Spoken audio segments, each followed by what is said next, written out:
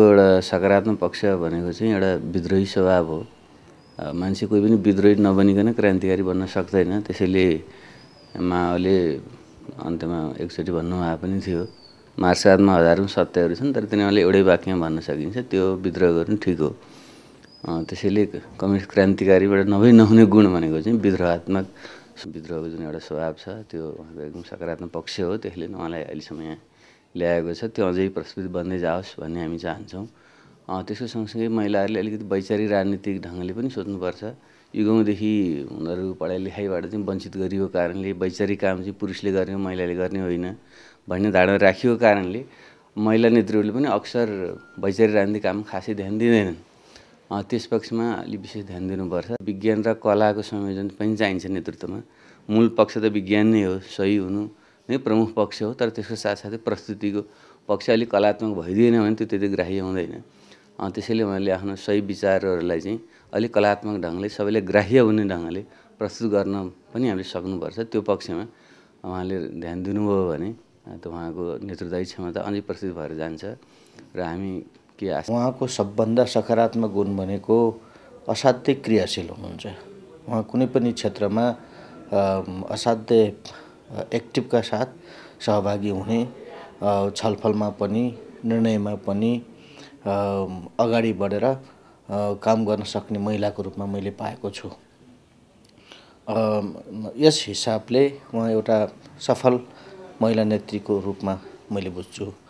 जहाँसम्म उहाँले अझ अगाडि बढेर समग्र महिलाहरूको हितमा र महिला मात्रै होइन महिलाको मुक्तिको प्रश्न स्वाभाविक रूपले वर्गीय मुक्तिसँग जोडिएको छ र समग्र मानव जातिकै मुक्तिसँग जोडिएको प्रश्नसँग गम्भीरतापूर्वक उहाँले अध्ययन छलफल मनन गर्नुभयो भने मलाई लाग्छ भविष्यमा उहाँको सफल एउटा नेत्री बन्न सक्नुहुन्छ। पावर पोलिटिक्समा दखल भएको र इन्ट्रेस्ट लिने मध्ये कम महिलाहरूमध्येमा म उनलाई देख्छु। वास्तवमा महिलाहरूको सबभन्दा दुर्बल पक्ष भनेको उहाँ महिलाहरू जति पनि काम गरेर पनि जति पनि सङ्गठनको क्रियाकलापमा इन्भल्भ भएर जहाँ पावर पोलिटिक्सको कुरा आउँछ त्यहाँ सत्त छोडिदिन्छ। त्यो कुरामा उहाँ धेरै सचेत छ। पावर कहाँ छ के छ भनेर उहाँ एकदम बुझिहाल्नुहुन्छ र त्यसको महत्त्व उहाँले बुझ्नुहुन्छ। त्यो उहाँको सबल पक्ष हो। जसरी जनआन्दोलन जनयुद्ध भने जनयुद्धभन्दा अगाडिको जनआन्दोलनमा पनि उहाँ निरन्तर रूपमा लागिरहेको त्यसपछि जनयुद्धमा पनि उहाँ निरन्तर लागेर अब अहिले चाहिँ नि मन्त्रालयसम्म उहाँले ह्यान्डल गर्दाखेरि मन्त्री परिषदमा पनि उहाँको एक्टिभै पार्टिसिपेसन भएको देख्छु होइन। यति भनिसकेपछि मलाई लाग्ने कुरा के हो भने महिलाहरूले उहाँबाट सिक्ने भनेको कुन पोइन्टमा हो भन्दाखेरि जे चिजमा पनि एकीकृत केन्द्रीकृत भएर लाग्यो भने त्यो रिजल्ट ओरिएन्टेड हुन्छ। अझ पार्टी पोलिटिक्स राजनीति भन्ने ठाउँमा त झन् केन्द्रीकृत भएर लाग्नुपर्छ। त्यो दृष्टिकोणबाट उहाँबाट धेरै चिजहरू सिक्ने आम महिलाहरूको कुरा छ। अब जहाँसम्म उहाँको अलि विकनेस भन्नु के के हो उहाँको कमजोरी भन्ने कुरा हो है। वास्तवमा उहाँको कमजोरी कमै छ। तर तैपनि कतिपय वैचारिक कुरामा वैचारिक जस्तै हाम्रो पार्टीमा वैचारिक निर्णय लिँदाखेरि होइन दुई लाइन सङ्घर्ष हुँदाखेरि त्यो गर्दाखेरि साप कहाँ हो त भन्ने चाहिँ नि उहाँको अलिकति नआउनु खोज्ने होइन। जब यसरी एक केन्द्रीकृत एकीकृत भएर आइसकेपछि आफ्नो मत कहाँ हो त भनेर बोल्ने जानुपर्ने ठाउँमा चाहिँ नि कहिलेकाहीँ त्यहाँनिर अलिकति उहाँको अपुग भए जस्तो लाग्ने। उहाँलाई मैले व्यक्तिगत रूपमा पनि अभिभावकको रूपमा मैले सम्मान गर्छु र उहाँले पनि व्यवहारिक विभिन्न पक्षमा धेरै सहयोग गर्नुहुन्छ र उहाँको विशेषता मेरो अनुभवमा महिला र पुरुष बिचको त्यस्तो कुनै भिन्नता पाइँदैन। समान स्तरको क्षमता उहाँले निर्माण गर्नुभएको छ। विचारको दृष्टिकोणले सङ्गठनको दृष्टिकोणले र सङ्घर्षको दृष्टिकोणले उहाँ नेपाली क्रान्तिको नेपाली राजनीतिको नेता हुनुहुन्छ। मलाई लाग्छ हाम्रो पार्टीको महिला नेताहरूमध्येमा सबभन्दा वरिष्ठ नेता उहाँ नै हुनुहुन्छ। उहाँ नेपालको यस्ता थोरै चाहिँ एउटा कम्युनिस्ट आन्दोलनमा आएका महिला नेतृमध्येको एकजना हुनुहुन्छ उहाँ। र उहाँको सबल पक्ष के हो भनेर भन्नुपर्दाखेरि म के पाउँछु भने उहाँ सधैँ आफ्नो एउटा निष्ठा विश्वास र आदर्शप्रति उहाँ सधैँ नै समर्पित हुनुहुन्छ र उहाँ सधैँ नै सक्रिय हुनुहुन्छ। उहाँ निष्क्रिय कहिले पनि बस्नु भएन र आफ्नो आदर्शप्रति उहाँ जहिले पनि समर्पित हुनुभयो। र हामी सबै कम्युनिस्टहरूको आदर्श भनेको एउटा साम्यवाद हो। नयाँ जनवाद समाजवाद हुँदै साम्यवादमा पुग्ने र यो समाजलाई रूपान्तरण गर्दै अगाडि बढ्ने जुन हाम्रो चाहिँ एउटा लक्ष्य हो त्यसको निम्ति उहाँ समर्पित हुनुहुन्छ र उहाँ दृढतापूर्वक जहिले पनि सक्रिय रूपले लागिराख्नु भएको छ र उहाँ एउटा आदर्श महिला नेत्रीको रूपमा चाहिँ स्थापित पनि हुनुभएको छ। उहाँमा एउटा जुझारुपन छ। र समाज बदल्ने मतलब देश बदल्ने र दु दुनियाँ बदल्ने कुरामा चाहिँ उहाँ प्रतिबद्ध हुनुहुन्छ र उहाँ चाहिँ निरन्तर लागिराख्नु भएको छ र हामी सबै चाहिँ किनभने हामी एउटा जुन सामन्ती समाजमा हुर्केका छौँ प्रशिक्षित भएका छौँ त्यसैले चाहिँ त्यो सामन्ती स्कुलिङबाट हामी सर्वहारा वर्गको स्कुलमा चाहिँ कार्यरत छौँ। त्यसैले त्यो सा सामन्ती अब संस्कारहरू हामीमा थोर बहुत रहन्छ र हाम्रो चुनौती भनेको त्यसलाई चाहिँ रूपान्तरण गरेर सर्वहाराकरण गर्ने नै हो। र हामी सबैको लागि त्यही चुनौती छ र उहाँ चाहिँ त्यो चुनौतीमा लाई चाहिँ सामना गर्दै अगाडि बढ्दै हुनुहुन्छ। र त्यही उहाँबाट सबै महिलाहरूले सिक्नुपर्ने विषय हो। मेरो जन्म दुई हजार साल साउन चार गते अर्घाखाँची जिल्लाको किमडाँडा गाविस त्यसको पनि वडा नम्बर पाँच आँप खोलामा जन्म भएको। मेरो बुवाको नाम गोविन्द प्रसाद भुषाल हो र आमाको नाम इन्द्रकला भुषाल। म परिवारको तेस्रो छोरी हो र हामी छजना दिदी बहिनी र भाइ छौँ। हाम्रो परिवार अलि सापेक्ष हिसाबले त्यहाँले हुने खाने परिवार हो। र सुतखोरी पैसा ब्याजमा लगाउने र ब्याज लिने त्यो पेसा पनि मतलब आम्दानीको एउटा मुख्य पेसा थियो। त्यसैले त्यहाँका सापेक्षता चाहिँ हामी हुने खाने परिवारकै छोरी थियौँ। तर फेरि हाम्रो परिवार सम्पन्न थियो तर सामन्ती थियो। र पितृसत्तावादी थियो। मेरो आमाले लगातार दसवटी छोरी जन्माउनु भयो र एघारौँ सन्तानका रूपमा हाम्रो भाइ जन्म्यो। धेरै पछि त्यसो भएर हामी छोरी छोरी हुने कुरा चाहिँ जहिले पनि प्रश्न उठाएको विषय भन्थ्यो हुने खाने परिवार छ तर छोरा छैन सम्पत्ति खाने भन्ने एउटा ढङ्गको स्थिति चाहिँ थियो। त्यो बेला हाम्रो समाजमा छोरी पढाउने भन्ने चलन थिएन। तर गाउँको गाउँमै एउटा प्राथमिक विद्यालय थियो र मेरो आमाले आफ्नो माइतीपट्टि आफ्ना दिदी दिदी बहिनीप्रतिबाट प्रभावित भएर र आफ्नो छोरा पनि नभएका कारणले चाहिँ छोरी पढाउन चाहिँ कोसिस गर्नुभयो। त्यसो भएर मभन्दा जेठी दिदीले पनि गाउँको स्कुलमा पढ्नुभयो। तर तिन चार कक्षा पढ्दै दिदीको फेरि विवाह भयो। त्यसपछि मेरो माइल दिदी र म धन्नै धन्नै समकालीन हौँ। हामी स्कुल गएर स्कुलमा हामी मात्रै केटी मान्छे छोरी मान्छे स्कुल पढ्ने हुन्थ्यो र कैयौँ मान्छेले प्रश्न उठाउँथे कि छोरा छैनन् अझ फेरि त्यति छोरीलाई पनि स्कुल पठाएछन् भनेर एउटा ढङ्गको प्रश्न उपेक्षा त्यस्तो बन्थ्यो। त्यसका बावजुद पनि मेरो आमा बुवाले चाहिँ मतलब हामीलाई स्कुल पठाउनु भयो तर दुर्भाग्य फेरि पनि कक्षा तिनमा पढ्दाखेरि नै मेरो माइल दिदीको बिहा भयो। कि छोरीको बिहा गर्दैछ छोरा जन्मिन्छ भन्ने मान्यतामा। गाउँकै प्राइमरी स्कुलबाट मैले पाँच कक्षा पास गरेँ। त्यसपछि दुई घन्टा टाढा मात्रै हाई स्कुल थियो। एउटो टाढा हुनु त्यो भौतिक समस्या थियो भने अर्कोतिर छोरीलाई मतलब पढाउनु हुन्न भन्ने मान्यता चाहिँ जबरजस्त थियो र त्यो सामाजिक त्यो जबरजस्तको प्रभावले परिवारभित्र पनि स्वाभाविकले प्रभाव पार्थ्यो र हरेक वर्ष मैले जति कक्षा पास गर्थेँ त्यसपछि नपढ्नका निम्ति ऊ अलिक कन्भिन्स गर्ने काम हुन्थ्यो र मैले जिद्दी नै गर्थेँ र पढ्थेँ।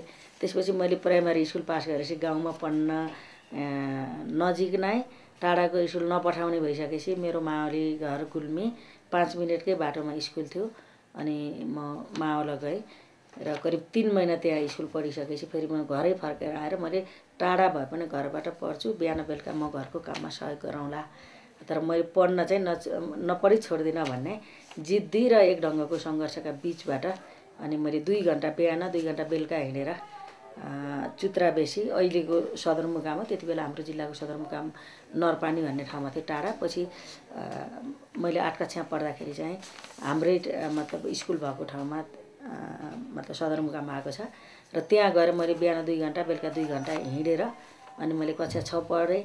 छ पढेपछि फेरि अब पुग्यो भनेर भनेर फेरि सातमा भर्ना गर्ने बेला समस्या हुने। अनि मैले रोई कराई फकाई जिद्दी गरी गरी फेरि म सातमा पढ्ने अनि मैले सात कक्षा पास गर्छु। फेरि मलाई छोड्नका निम्ति दबाब। यस्तै यस्तैका बिचबाट मतलब मैले आफ्नो पढाइका निम्ति चाहिँ मैले ठुलो सङ्घर्ष गरेँ। मैले आठ कक्षामा पढ्दा मेरो जिल्लामा राष्ट्रिय शिक्षा योजना अन्तर्गत नयाँ शिक्षा लागु भयो। र मेरो स्कुल व्यावसायिक स्कुल थियो। त्यहाँ कृषि र लेखा पढाइ हुन्थ्यो दुईवटा भोकेसनल विषय थिए। त्यो बेला मेरो जिल्लामा बिएससी एग्रिकल्चर पढेको कोही पनि टिचर थिएन। त्यसो भएर पुसबाट शैक्षिक सत्र सुरु हुने वैशाखतिर पुग्दाखेरि बल्ल रामपुर क्याम्पसमा आएर एउटा बिएससी एजी पास गरेको टिचर लिएर गइयो। लेखा पढाउने टिचर पहिले नै हुनुहुन्थ्यो। जब कृषिको टिचर गए त्यसपछि लेखाको टिचरले के क्वेसन राख्नुभयो भने ल अब कृषिको टिचर आए समूह गठन गरेर पढ्नुपर्छ। ल को को कृषितिर जाने हो को को लेखातिर जाने हो ल छुट्यो अब केटी मान्छे त अब कृषि पढ्न सक्ने कुरो भएन भनेर अनि उहाँले चाहिँ त्यो ग्रुप डिभाइड गर्ने प्रस्ताव र केटीहरूले सक्दिनन् भन्ने प्रस्ताव राखिसक्दाखेरि हामी दुईजना मात्रै केटीहरू कक्षा आठमा थियौँ। स्कुलभरिमा गएर जम्मा हामी नौवटी केटी थियौँ। अनि त्यसो गर्दा अनि त्यसले मलाई ठ्याक्कै कस्तो पिन्छु भने सायद मैले कृषि पढ्ने थिएन। मैले स्वभावले चिनिराखेको सर पहिलेदेखि दुई तिन महिनादेखि चिनिराखेको अब त्यो त पढ्थेँ होला। अनि उहाँले केटीले त सक्दिनन् भन्ने क्वेसन राखिदिएपछि अनि म चाहिँ फेरि म कृषि गएँ। त्यसमा ममा एउटा कस्तो चेतना थियो भने जे केटीले सक्दिनन् भनेर कुरा राखिन्थ्यो म त्यही गर्नुपर्छ भन्ने एउटा विद्रोही चेतना होला सायद अहिले आएर परिभाषा गर्दा। त्यस्तो थियो र मैले कृषि लिएँ र मैले एसएलसीसम्म चाहिँ मैले चार सय पूर्णाङ्कको कृषि पास गरेँ। जति बेला मैले कक्षा आठमा पढ्थेँ। ठिक त्यही बेलातिर। अनि त्यो भूमिगत ढङ्गले क्रियाशील भएका विद्यार्थी सङ्गठनहरू वामपन्थी पार्टीका सङ्गठनहरूमध्ये मेरो अलि छलफल बस उठ र नातामा दाई पनि पर्ने हामी दाजुभाइभित्रको त्यसले चाहिँ छलफल बहस गरेर पनि अलिक सहजता र सजिलो पनि हुने प्रश्न पनि नउठ्ने का बिचबाट हुँदै जाँदा अनि मैले चाहिँ अनेरा सोभ्यूको पाँचौँ राष्ट्रिय सम्मेलनको तयारीको सन्दर्भ रहेछ अनि मैले विद्यार्थी सङ्गठनको सदस्य भूमिगत रूपमै लिएँ। त्यो भूमिगत पनि आश्चर्य थियो म मेरो गाउँबाट अर्को गाउँमा मेरो सानीमाको घर भएको ठाउँमा गएँ जहाँ मलाई त्यो राजनीतिक हिसाबले प्रभाव पार्ने अनि त्यतातिर मेरो ध्यान र सोचलाई आकर्षित गर्ने दाईको घर पर्थ्यो। अनि म सानीमा कहाँ भनेर गएँ तर म त्यो दाईको घर बसेँ। अनि सबैले खाना खाए साना खाएपछि गाउँ सुन्ने भयो। त्यसपछि त्यहाँबाट हामी आधा घन्टा अँध्यारैमा त्यो चप्पलको प्याट प्याट आवाज पनि नआउने गरेर हिँड्दै हिँड्दै गयौँ र त्यहाँ एउटा स्वास्थ्य चौकी थियो। ठुलो चौरको बिचमा हामी त्यहाँ पुग्यौँ र त्यहाँ केही दाईहरू आउनुभयो। अनि त्यसपछि बल्ल अनेरा बारेमा बताउनु भयो। त्यसपछि त्यसले त्यसका नीति सिद्धान्तहरू बताइसकेपछि त्यसको सङ्गठनात्मक मतलब भूमिगत सङ्गठनको प्रणाली बताउनु भयो र राष्ट्रिय सम्मेलन हुँदै गरेको र त्यसको सदस्यता लिन र सहयोगका निम्ति प्रस्ताव राख्नुभयो र एकजना मेरो अर्को महिला साथी थिइन् त्यही गाउँकै र हामीभन्दा दुई कक्षा सिनियर पढ्ने सावित्रा भुषाल भन्ने। अहिले बिहा गरेर उहाँ सावित्रा पाण्डे भन्नुभएको छ पाण्डे छेत्री। अनि उहाँ र म हामी त्यसरी गयो। र त्यसपछि हामीलाई अँध्यारैमै मतलब अनेरा सुबीको सदस्यता दियो। र मैले पहिलोचोटि नाम पनि सुने त्यसको उद्देश्य पनि सुने र सँगसँगै सदस्यता पनि पाएँ। र त्यो सदस्यता दिलाउने सन्दर्भमा हाम्रो त्यो खालको नेतृत्व चाहिँ पञ्चायतकालमै शहीद बनिसक्नुभयो आदरणीय टङ्क भुषाल नाताले हामी दाजुभाइ पर्छौँ र उहाँ दाईको पहल कदमी र मतलब नेतृत्वमा त्यति बेला नै अनेरा सेवीको केन्द्रमा हुनुहुँदो रहेछ। पिताम्बर आचार्य हाम्रै जिल्लाको दाई त्यति बेलै पूर्णकालीन पार्टीको कार्यकर्ता हुनुहुँदो रहेछ र केन्द्रीय सदस्य हुनुहुँदो रहेछ अनि उहाँको हातबाट चाहिँ हामीले सदस्यता पायौँ। त्यसैले मैले सङ्गठित राजनीतिक जीवन भनेर सायद मैले त्यसैलाई भन्नुपर्छ। र त्यो बेला जिल्लामा कैयौँ राजनीतिक घटना परिघटनाहरू फेरि कम्युनिस्ट पार्टीको नेतृत्वमा घटिराखेका थिए। पुष्पलालको नेतृत्वमा रहेका पार्टीका त्यो क्षेत्रका नेताहरूले त्यताबाट नै विद्रोह गरेर अनि ग्रामीण वर्ग सङ्घर्षका कार्यक्रमहरू सञ्चालन गर्नुभएको थियो। त्यो मध्ये एउटा हर्रे बर्रेको वर्ग सङ्घर्ष भनेर बडो स्थापित छ नेपालको कम्युनिस्ट आन्दोलनमै। त्यो सामन्तको घरबाट तम्सुकहरू घर कब्जा गर्ने र तम्सुक जलाउने। त्यो खालको आन्दोलन पनि हामीले त्यही स्कुलमा अध्ययन गर्दा गर्दै यही यही समय पूर्व भइसकेको थियो। र त्यो अर्गामै एउटा ज्यादै ठुलो प्राचीन मन्दिर छ अनि त्यो मन्दिर कब्जा गरेर त्यहाँका मतलब तरबार सरबार जस्ता हतियार मन्दिरमा भएका सुन आदि इत्यादि पनि फेरि ती कब्जा गरिएका थिए। र त्यो प्रक्रियामा मैले पढेको स्कुलका टिचरहरू जो वामपन्थी टिचर हुनुहुन्थ्यो प्युठानदेखि खोजेर लिएका टिचरहरू हुनुहुन्थ्यो। त्यो घटना परिघटनाले चाहिँ फेरि उहाँहरूले पनि जिल्ला छोड्नुपर्ने स्थिति भयो। त्यो प्रक्रियामा संलग्न भएका मध्येका मतलब सक्रिय मान्छेहरू गिरफ्तार भए र गिरफ्तार भएपछि त्यही भित्रकै एकजना शिक्षकले धोका दिइसकेपछि त्यसको मूल नेतृत्व पनि गिरफ्तार हुनुभयो। केशरमणि पोखरेल अहिले त उहाँ नेपाली काङ्ग्रेसमा पुगिसक्नु भएको छ। त्यसको मूल नेतृत्व हुनुहुन्थ्यो। लगायतका मतलब उहरू त्यो बेलाका त्यो पुष्पलालबाट विद्रोह गरेर अनि आन्दोलनमा लागेका तब्काका साथीहरू गिरफ्तार हुनुभयो र सत्र पन्ध्र वर्षदेखि सत्र वर्ष जेल परेर पैँतिस छत्तिस सालको अनि पै यो पैँतालिस छ्यालिस सालको आन्दोलनभन्दा केही पहिले छुट्नुभयो उहाँहरू। र त्यो खालको फेरि राजनीति पनि त्यहीँ सिद्धियो। यतापट्टि अनि हामी विद्यार्थी सङ्गठनमा त्यसरी सङ्गठित हुँदै त्यति ठुलो सक्रिय गतिविधि हुन सक्ने थिएन। पञ्चायतकालको दबदबा थियो। वामपन्थी टिचरहरू जानुभयो। अर्का कालका टिचरहरू आए। असाध्यै भूमिगत रूपमा यो माओवादी जनयुद्धकालमा पनि ग्रामीण क्षेत्रमा पार्टी खुला थियो। सायद सहरतिर जति भूमिगत ढङ्गले गतिविधि र सङ्गठन रहन्थ्यो त्यही ढङ्गको स्थितिबाट हामीले अगाडि बढ्यौँ र हामीले एसएलसी दिँदाखेरि दुई हजार त्यो पैँतिस सालको को लास्टमा हामीले एसएलसी दियौँ। त्यो बेलातिर चाहिँ अब फेरि काठमाडौँमा पाकिस्तानी प्रधानमन्त्री भुट्टोलाई दिएको फाँसीको सजाय विरुद्धको आन्दोलनबाट सुरु भएको विद्यार्थी आन्दोलन काठमाडौँ हुँदै अनि पोखरा बुटोल हुँदै गर्दाखेरि हामी कहाँ चाहिँ धेरै पछि त्यो आन्दोलन पुग्यो र त्यो आन्दोलनको स्वरूप चाहिँ स्कुल हडताल गराउने हुन्थ्यो। हामी एसएलसी दिएर बाहिर निस्केको र रिजल्ट पुरेको हुँदाहुँदै पनि हामी फेरि त्यो आन्दोलनका निम्ति चाहिँ हाम्रो स्कुल जहाँ त्यति बेला सदरमुकाम आइसकेको थियो हाम्रो परिवारको घर पनि गाउँबाट सदरमुकाम आइपुगेको थियो त्यही भएर हामी थानिए पनि र अलि सक्रिय पनि हुनुका नाताले चाहिँ हामीले त्यो खालको आन्दोलनमा भाग लियौँ दुई दिन मात्रै बन्द गराउँदा काठमाडौँमा चाहिँ जनमत सङ्ग्रहको घोषणा भइसकेको थियो। र त्यो आन्दोलनले मतलब एउटा रूपको अन्त भयो र जनमत सङ्ग्रहको समर्थन र विरोधका बहसहरू चल्दा चल्दा हामी चाहिँ त्यति बेलाको एकीकृत चौथो महाधिवेशन को नजिक हुनुका नाताले चाहिँ जनमत सङ्ग्रह धोका हो भन्ने राजनीतिक प्रचार प्रसार गर्दै अनि एसएलसीको रिजल्ट पनि भयो। म छत्तिस सालमा काठमाडौँ मतलब उच्च अध्ययनको निम्ति आएँ। असाध्यै ठुलो सङ्घर्षको बिचबाट मैले कलेज पढ्ने मौका पाएँ। एसएलसी त गरेँ अब त क्याम्पस त जिल्लामा पनि थिएन। जिल्ला छोडेर बाहिर आउनुपर्ने छोरी मान्छे पढ्नुहुन्न भन्ने एउटा स्थिति थियो। यद्यपि अब छोरा पनि थियो मैले सात कक्षा पढ्दै गर्दा हाम्रो घरमा भाइ पनि जन्मिएको थियो। त्यसरी छोरी मात्रै भन्ने पीडाबाट त हामी मुक्त भएको थियौँ तर छोरीले पढ्नुहुन्न भन्ने चाहिँ पुरै उ थियो। र पहिला छोरीले पढ्नै हुन्न भन्ने भएपछि मैले असाध्यै खाना पनि नखाएर एक ढङ्गको भुक हडताल रोइ कराई अनि मैले पढेर राम्रो गर्छु भन्ने फकाइ फुलाइ सबै ढङ्गले सङ्घर्ष गर्दै जाँदा अन्तिममा कलेज त पढ्न जाने तर कहाँ भन्ने विषय फेरि अर्को मतलब हाम्रो बहसको विषय भन्यो। अनि केटी मान्छेले चाहिँ एजुकेसन पढ्ने टिचर भइन्छ बुटोलमा छ भन्ने पनि कुरा आयो। कतिले केटी मान्छे नर्स पढ्ने भन्ने कुरा पनि आए। कसैले तिमी टाठी छिउ ल पढ वकिल बन भन्ने पनि थिए। यस्तै बिचबाट चाहिँ मैले जे विषय महिलाका निम्ति भनेर छुट्याइन्छ म चाहिँ त्यो गर्दिनँ भन्ने चाहिँ ममा थियो। फेरि मेरो त्यो पहिल्यैदेखिको एउटा प्रतिविद्रोही मेरो भावना थियो। र मैले के गरेँ भने जे केटीले सक्दिनन् भन्ने हुन्छ त्यही गर्नुपर्छ भन्ने भएपछि अनि मैले हाई स्कुलमा मैले कृषि पढाएको थिएँ। त्यसरी मैले फेरि अब उच्च अध्ययन भने मैले कृषि पढ्छु भनेर प्रस्ताव राखेर राखेँ। त्यसो गर्दा त पक्रियामै छ भैरवा त्यहीँ पढ्ने भन्ने भयो। तर मेरो फेरि इच्छा के थियो भने पढ्नु पढ्नु राजधानी जाने भन्ने चाहिँ फेरि मेरो एउटा महत्त्वाकाङ्क्षा थियो। र अन्तिममा मैले त्यसमा पनि कन्भिन्स गराएर असाध्यै जोड बलको सङ्घर्षसहित म काठमाडौँ आएँ।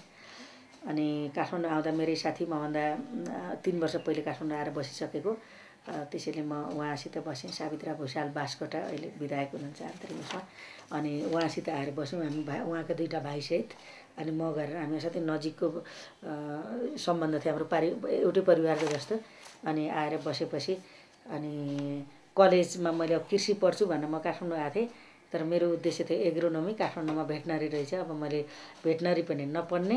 तर म फर्केर रामपुर वा पग्लिया पनि नजाने मेरो सोच थियो। अनि के पढ्ने भन्ने भयो र मैले इन्जिनियरिङ चोइस गरेँ। र पुल्चोक इन्जिनियरिङ क्याम्पसमा भर्ना भएँ। र त्यो पनि ल यहाँबाट एउटा विषय पढ्न भन्न गएको। उहाँ गएर केटी मान्छे इन्जिनियरिङ भन्ने फेरि अर्को प्रश्न भयो। र त्यतातिरबाट आएर केटी मान्छेले इन्जिनियरिङ पढ्ने भन्ने चाहिँ मै पहिलो थिएँ। त्यसो त्यो बडो कम्प्लेक्स विषय र पढ्नै सक्दिनन् भन्नेबाट राखिएको थियो। त्यसलाई मैले आफ्नै समयमा चाहिँ मैले पुरा गरेँ मेरिट स्तरको नम्बर लिएर। मेरो राजनीतिक जीवनको एउटा सक्रिय मतलब थालन पनि ठ्याक्कै त्यही त्यही कलेज जीवनै हो वास्तवमा। किनकि पैँतिस छत्तिस सालको आन्दोलनपछि विद्यार्थी सङ्गठन खुला सोभिउ खुला भएको स्थिति थियो र हामी काठमाडौँमा आउँदाखेरि चाहिँ अब अनेरा सोभिउ जो मैले तेत्तिस सालमा अनेरा सोभिउको जो मैले सदस्यता ल्याएको थिएँ पाँचौँ सम्मेलन भूमिगत रूपमा भारतको अयोध्यामा भएको थियो र निनु चापागाई त्यसको अध्यक्ष हुनुभएको थियो। र छत्तिस सालपछिको खुला परिस्थितिमा फेरि राष्ट्रिय छैटौँ राष्ट्रिय सम्मेलन तयारी समिति बनिसकेको र हामी काठमाडौँ आउँदाखेरि चाहिँ अब त्यो सम्मेलनको मतलब एउटा घनीभूत तयारीको बेला थियो। क्याम्पस भर्ना पनि हुने र पढाइ पनि नभएको स्थिति अनि हामी त्यो अनेरा सोबीको छैटौँ राष्ट्रिय सम्मेलनको तयारीमा कलेज काठमाडौँ भक्तपुर ललितपुर काभ्रे धादिङ कहाँ कहाँ जानुपर्छ सबैतिर जाने एउटा सक्रिय कार्यकर्ता बन्यौँ।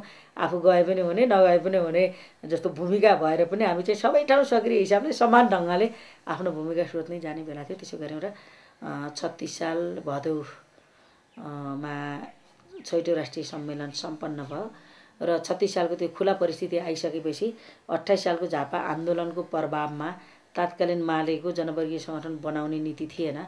र पाँचौँ सम् चौथो पाँचौँ सम्मेलन राष्ट्रिय दुइटै सम्मेलनमा सहभागी नभएको एउटा स्थिति थियो। छत्तिस सालमा अब उहाँहरू पनि जनवर्गीय सङ्गठन बनाउने वैधानिक सङ्घर्षमा पनि जाने मान्यतामा पुगेपछि अनि उहाँहरू चाहिँ एकताको पाँचौँ राष्ट्रिय सम्मेलन भनेर फेरि विविध मतलब त्यो सङ्गठन पार्टीको भातृ सङ्गठनको आवश्यकता हो। तर्क चाहिँ भारतमा भएको थोरै जिल्ला भाग लिएको आदि आदि इत्यादि गरेर फेरि पाँचौँ सम्मेलनको एउटा व्यापक तयारी थियो।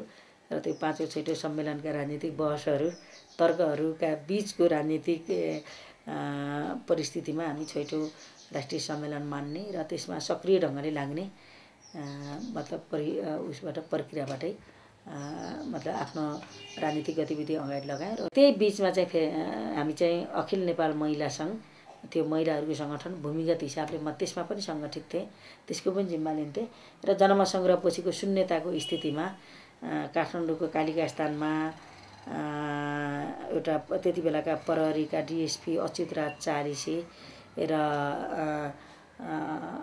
उनका परिवारको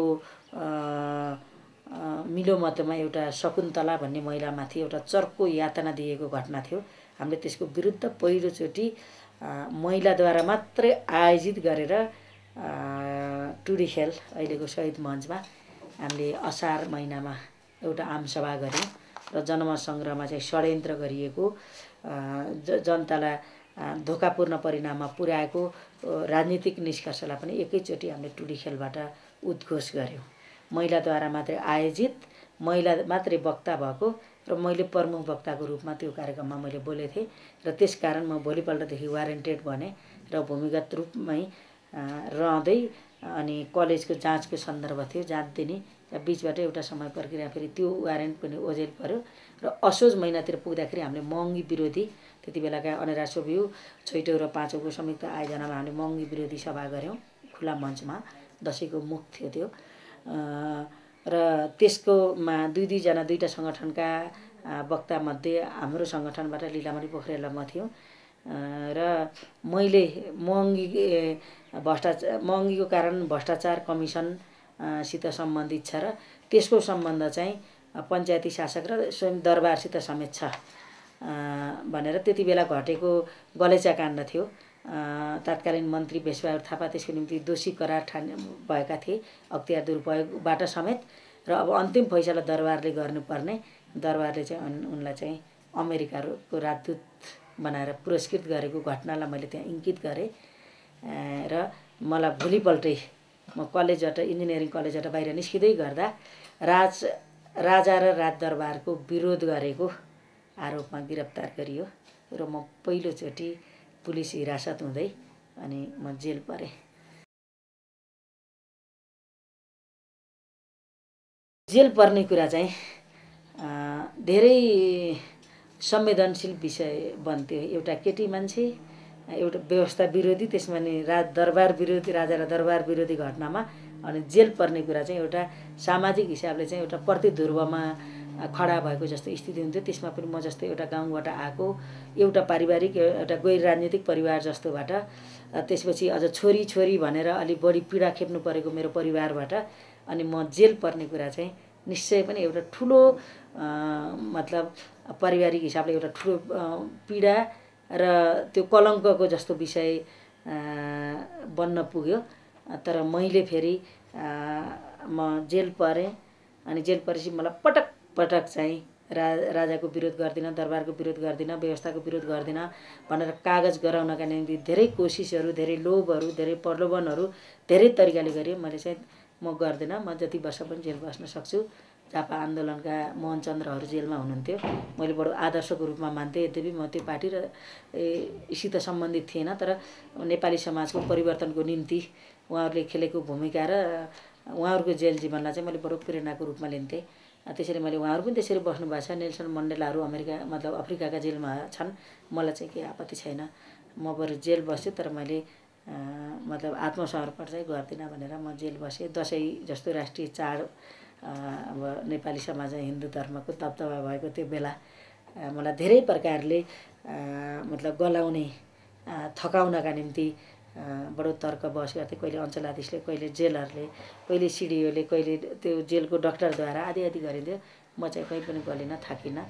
करिब डेढ महिनापछि चाहिँ फेरि मलाई त्यसै स्वाभाविक हिसाबले छोडियो।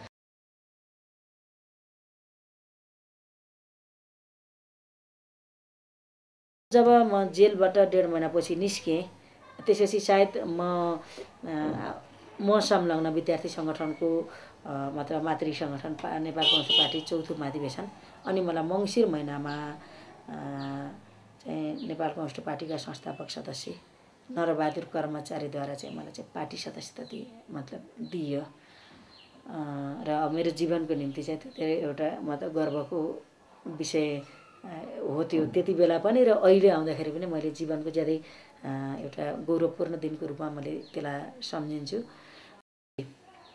मैले पार्टी सदस्यता लिने सँगसँगै अने मसँग त्यति बेला भूमिगत थियो पारिजात दिदी अध्यक्ष हुनुहुन्थ्यो। त्यसपछि म त्यसको केन्द्रीय सचिव महासचिव हुने थिएन। म अनि भूमिगत रूपमै अनि म केन्द्रीय सचिव बनेर अनि मैले महिला सङ्गठनको जिम्मातिर लागेँ र बाहिर कभरमा म विद्यार्थी सङ्गठन कै कभरबाट फेरि मैले काम गर्थेँ किनकि त्यो मात्रै खुल्ला सङ्गठन थियो र दुई हजार अडतिस सालमा गएर हामीले त्यसको पहिलो राष्ट्रिय सम्मेलन भारतको अयोध्यामा गऱ्यौँ र उर्मिला अर्याल जो अहिले एमालेको केन्द्रीय सदस्य हुनुहुन्छ उहाँलाई अध्यक्ष बनाएर म त्यसको महासचिव बन्यौँ र हामीले भारतमै त्यसको मतलब त्यो पहिलो राष्ट्रिय सम्मेलन गऱ्यौँ र पारिजात दिदीको आफ्नो स्वास्थ्य स्थिति र मतलब भौतिक हिसाबले खट्न नसक्ने स्थितिका बिचमा चाहिँ हामीले उहाँको नैतिक वैचारिक मतलब सैद्धान्तिक सहयोग लिइराख्यौँ दुई हजार चालिस सालतिर जाँदा त्यो एकीकृत चौथो महाधिवेशनमा फुट आयो र एकातिर त्यो नेकपा मसाल बन्यो एकातिर चाहिँ नेकपा चौथो महाधिवेशन बन्यो र त्यो पञ्चायती चुनावको उपयोग गर्ने कुरा दुई हजार सात सालको परिवर्तनलाई घटना वा क्रान्तिको रूपमा बुझ्ने कुरा पञ्चायत विरोधी संयुक्त मोर्चा बनाउने विषयहरू म त त्यति बेला बहसका विषयहरू थिएर त्यसमा बहुमत अल्पमतको अन्तर सङ्घर्षका बिचबाट अल्पमत पक्ष निर्मल लामाहरू नेकपा चौथो महाधिवेशनकै रूपमा उहाँहरू रहनुभयो र बहुमत पक्ष मोहन विक्रम मोहन वैद्यहरू सहितको चाहिँ नेकपा मसाल गठन गरेर अघि बढेर मैले आफ्नो वैचारिक मतलब आफ्नो प्रतिबद्धता सहमति र साङ्गठनिक मेरो संलग्नता चाहिँ म नेकपा मसालतिरै रहेँ। र एकचालिस सालमा पाँचौँ महाधिवेशन भयो र बयालिस सालमा फेरि पार्टी कारबाहीमा पर्नुभएका मोहन विक्रमले फेरि छुट्टै पार्टी गठन गर्नुभयो र उहाँले नेकपा पातलो मसाल भनेर सङ्गठन बनाउनु भयो र त्यति बेला पाँचौँ महाधिवेशनपछि कमरेड मोहन वैद्य किरण पार्टीको मतलब सर्वोच्च नेतृत्व हुनुहुन्थ्यो महामन्त्री या महासचिव। अनि विचार राजनीतिले मेरो मतलब मिल्ने फेरि त्यति बेला पनि बहुमतमै रहेको नेकपा मसाल जसलाई मोटो मसाल भनिन्छ। म त्यतैतिरै संलग्न रहेँ। र दुई हजार पैँतालिस छ्यालिस सालको जनआन्दोलनपछि फेरि त्यही मसाल अनि त्यही एकीकृत चौथो महाधिवेशन र त्यो पातलो मसालबाट विद्रोह गरेर आउने कमरेड शीतल कुमार बाबुराम भट्टराईहरू आइसकेपछि र श्रमिक सङ्गठनबाट आएको नेकपा एकता केन्द्र। र मा म निरन्तर मतलब अगाडि गएँ। र त्यो प्रक्रियामा पुग्दाखेरि मोटो मसाला हुँदै नयाँ नेतृत्वको रूपमा कमरेड किरणका ठाउँमा कमरेड प्रचण्ड आइसक्नु भएको थियो र त्यो एकता केन्द्र बन्दाखेरि पनि अध्यक्ष म त त्यति बेला महामन्त्रीको पदीय हैसियत थियो र कमरेड प्रचण्ड नै त्यसको महामन्त्री हुनुभयो। पैँतालिस छ्यालिस सालको मतलब जो जनआन्दोलनको एउटा पल्लो प्रक्रिया बन्यो अनि त्यो प्रक्रियामा चाहिँ एकातिर नेपाली काङ्ग्रेस र संयुक्त वाम मोर्चाको एउटा मतलब गठजोड बा बाट आन्दोलन को शुभारम्भ गर्ने प्रक्रिया भयो भने क्रान्तिकारी कम्युनिस्टहरूले चाहिँ आफ्नै पहिचानबाट फेरि त्यो आन्दोलनमा भाग लिनुपर्छ भनेर संयुक्त राष्ट्रिय जनआन्दोलन भनेर त्यति बेलाका अरू वामपन्थी जो वाम मोर्चामा सहभागी नभएका हाम्रो पार्टीसहितको संयुक्त राष्ट्रिय जनआन्दोलन बन्यो। त्यसकै माध्यमबाट हामीले पैँतालिस छ्यालिस सालको आन्दोलनमा लाग्यौँ। र म काठमाडौँमै थिएँ र भूमिका ढङ्गले नै हामीले त्यो आन्दोलनमा आफ्नो भूमिका पुरा गऱ्यौँ।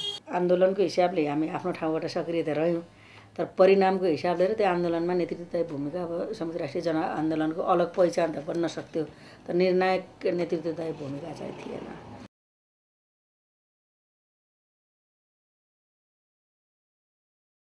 त्यसपछि त्यो जनआन्दोलनपछि जुन ढङ्गको रातरातमा बहुदलीय व्यवस्थाको स्थापना भयो हामीले त्यसबाट नेपाली जनता अधिकार सम्पन्न हुन सक्दैनन् नेपाली राष्ट्र स्वाधीन हुन सक्दिनँ भन्ने मान्यता राख्यौँ र तर भर्खर आएको संसदीय व्यवस्था जनतालाई के के नहो भन्ने जनतामा थियो। त्यसैले जनताको चेतनाभन्दा धेरै अगाडि पार्टी गएर जाने त्यो फरक ढङ्गले जनताबाट अलग हुने कुरा हुन्छ। त्यो जनतालाई त्यहीँ भित्रै गएर यसलाई बुझाउने भनेर हामीले संसदीय व्यवस्थाको भण्डाफोरका निम्ति भनेर चुनावलाई उपयोग गऱ्यौँ त्यति बेलासम्म हामीले संयुक्त जनमोर्चा नेपाल बनाइसकेका थियौँ। र संयुक्त जनमोर्चा नेपालको माध्यमबाट हामीले चुनावलाई उपयोग गऱ्यौँ पार्टी आफै मुख्य पार्टीका रूपमा चुनाव लड्न गएन। वैधानिक मोर्चा हो त्यो संयुक्त राष्ट्रिय संयुक्त जनमोर्चा नेपाल भनेको। त्यही जनमोर्चा नेपालबाट हामीले चुनावमा ला उपयोग गऱ्यौँ र हाम्रा नौजना उम्मेदवारले चाहिँ जितेर आउनुभयो। अनि त्यसका आधारमा राष्ट्रिय सभामा पठाउने दुईजना सहित गरेर एघारजना संसद सदस्यहरू हुनुहुन्थ्यो र हामीले जनतामा जाँदा यो राजतन्त्र बहुदलीय संसदीय व्यवस्थाले नेपाली जनताको हितमा गर्न सक्दैन। यो सामन्त दलाल नोकरसाही पुँजीपति वर्गको को हित र नेतृत्व गर्ने व्यवस्था हो। तर यसको भण्डाफोर चाहिँ जनताले पर्याप्त बुझ्ने गरेर गर्न जरुरी छ। हामी हामीलाई त्यसको निम्ति भोट दिनुहोस् भनेर हामीले भण्डाफोरको मत माग्यौँ। र हामी तेस्रो पार्टी बन्यौँ र संसदमा हामीले जनताका राष्ट्रियताका मागहरू उठाउने र यसले गर्न सक्दिनँ भन्ने कुरा भण्डाफोर हामीले देश भित्रबाट पनि गऱ्यौँ र केही समयको अवधि पछिबाट जनताले बाहिरैबाट पनि बुझ्ने स्थिति बन्यो।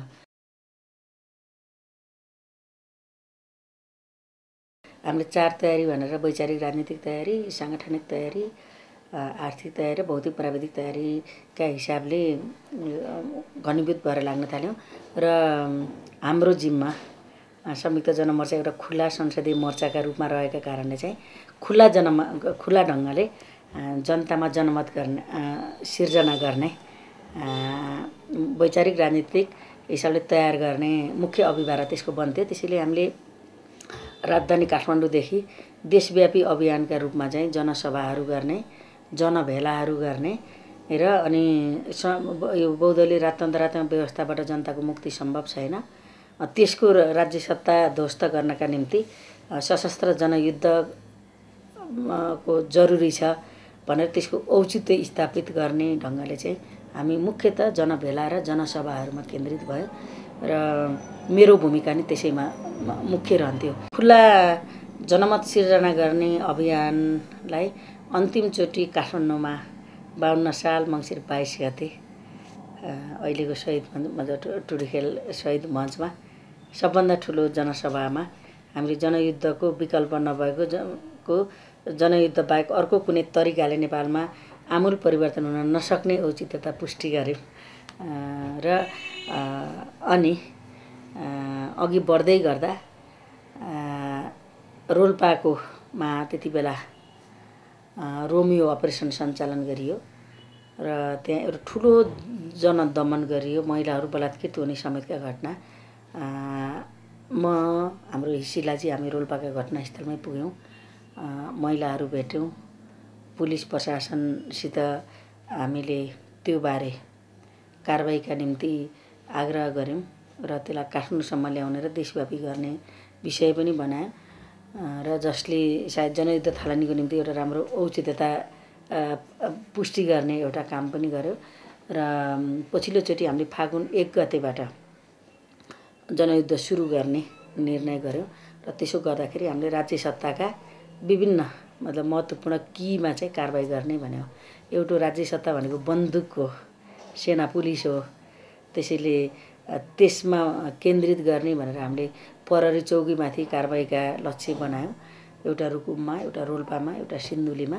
अर्को वित्तीय मतलब यो पुँजीको नेतृत्व गर्ने भनेर हामीले कृषि विकास बैङ्कमाथिको कारवाहीलाई गोर्खामा एउटा टार्गेट गऱ्यौँ। र अनि यो सामन्ती सुत्खोरीमाथिको कारवाहीको निम्ति भनेर हामीले कारवाहीलाई चाहिँ एउटा नमुना कारवाहीको रूपमा चयन गऱ्यौँ। र त्यसपछि देशव्यापी रूपमा जति जनशक्ति जनमानस छ त्यसका हिसाबले प्रचारात्मक र क्रियात्मक आन्दोलन गर्ने गरेर कार्ययोजना बनायो। त्यसपछि डाक्टर बाबुराम भट्टराई कमरेड म जो संयुक्त जनमोर्चाको असाध्यै खुला मोर्चामा हामीले चार वर्षदेखि मतलब भूमिका निर्वाह गरेका थियौँ।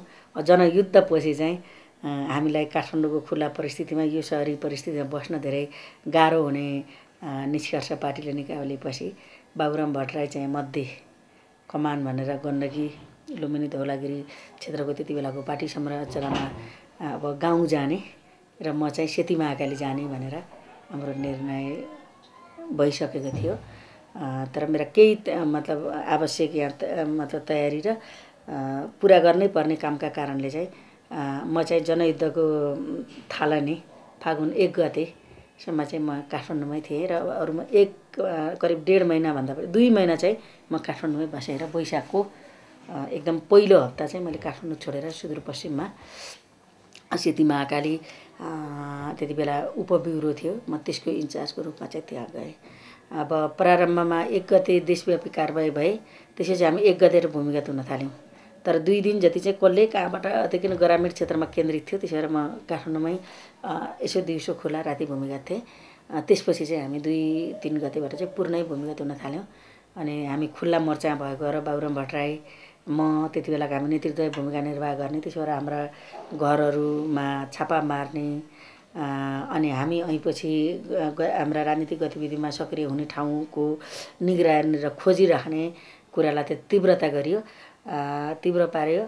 तर हामी भूमिगत ढङ्गले बाबुराम भट्टराई त उता गण्डकीतिर लागिसक्नु भएको थियो।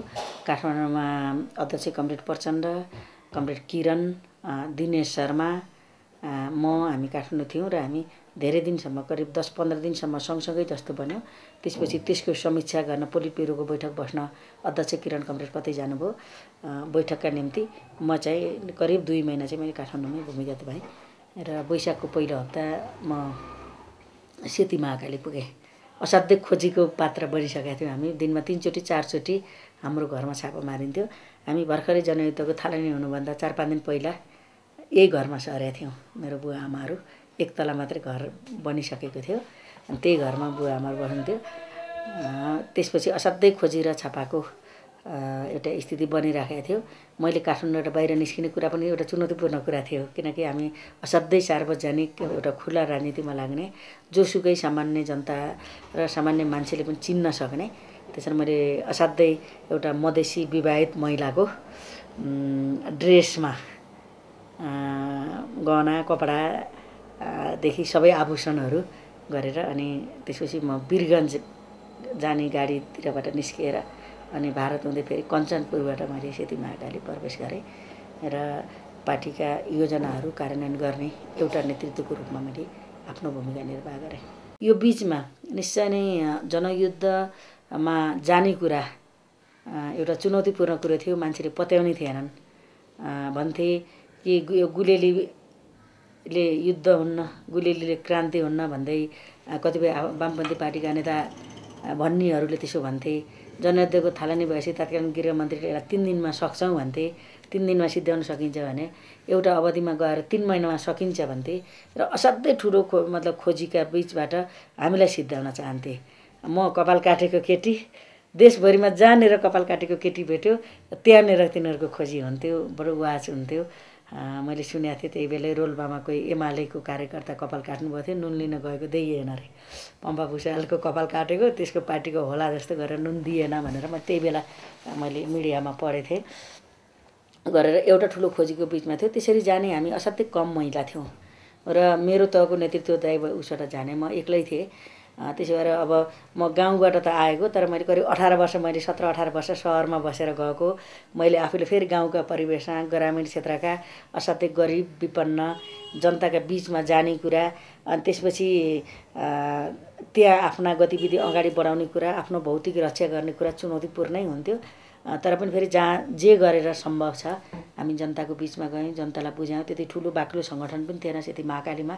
त्यसका बिचबाट पनि जनतालाई सङ्गठित गर्ने आन्दोलित गर्ने र पार्टीका योजना कार्यान्वयन गर्ने प्रक्रियालाई गऱ्यौँ र पछि पछि केवल लडाकु सुरक्षा दल र स्वयंसेवी दलका रूपमा सङ्गठित भएको हाम्रो फौजी संरचना बिस्तारै त्यसपछि प्लाटुन कम्पनी बटालियन ब्रिगेड हुँदै डिभिजनसम्मको पुग्ने जो एउटा प्रक्रियामा विकास भयो त्यसपछि एउटा सामान्य ग्रामीण वर्ग सङ्घर्षबाट अब सत्ताका महत्त्वपूर्ण अङ्ग प्रहरी नेपाल प्रहरी पनि एउटा उचा उसमा जाँदा सन्दर्भमा जाँदा त्यो पराजित भइसकेको स्थितिमा फेरि त्यसको अन्तिम सत्ताको मेरुदण्ड सेनामा सितका कारबाहीबाट विकसित भएको जनयुद्ध र त्यसले कर्मश मतलब ग्रामीण क्षेत्रमा छापामार इलाका हुँदै आधार क्षेत्रका रूपमा विकास गर्दै गएको र नयाँ सत्ताको निर्माण र अभ्यास गर्दै रहेको एउटा स्थितिबाट जाँदा यता सत्ताको पक्षबाट फेरि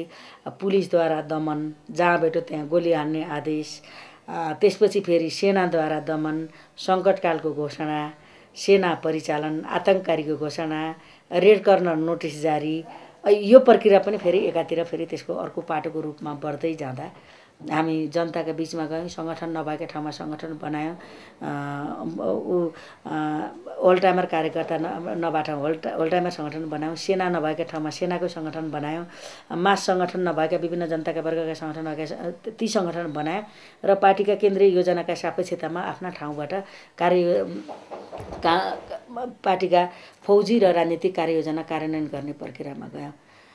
जस्तो हामी सेती महाकालीमा हुँदा अब सेती महाकाली छुट्टै छुट्टै उपब्युरो अब छुट्टै सेना बनाउने पार्टीको निर्णय अनुरूप हामीले पहिलोचोटि त्यहाँ प्लाटुनको संरचना बनायौँ।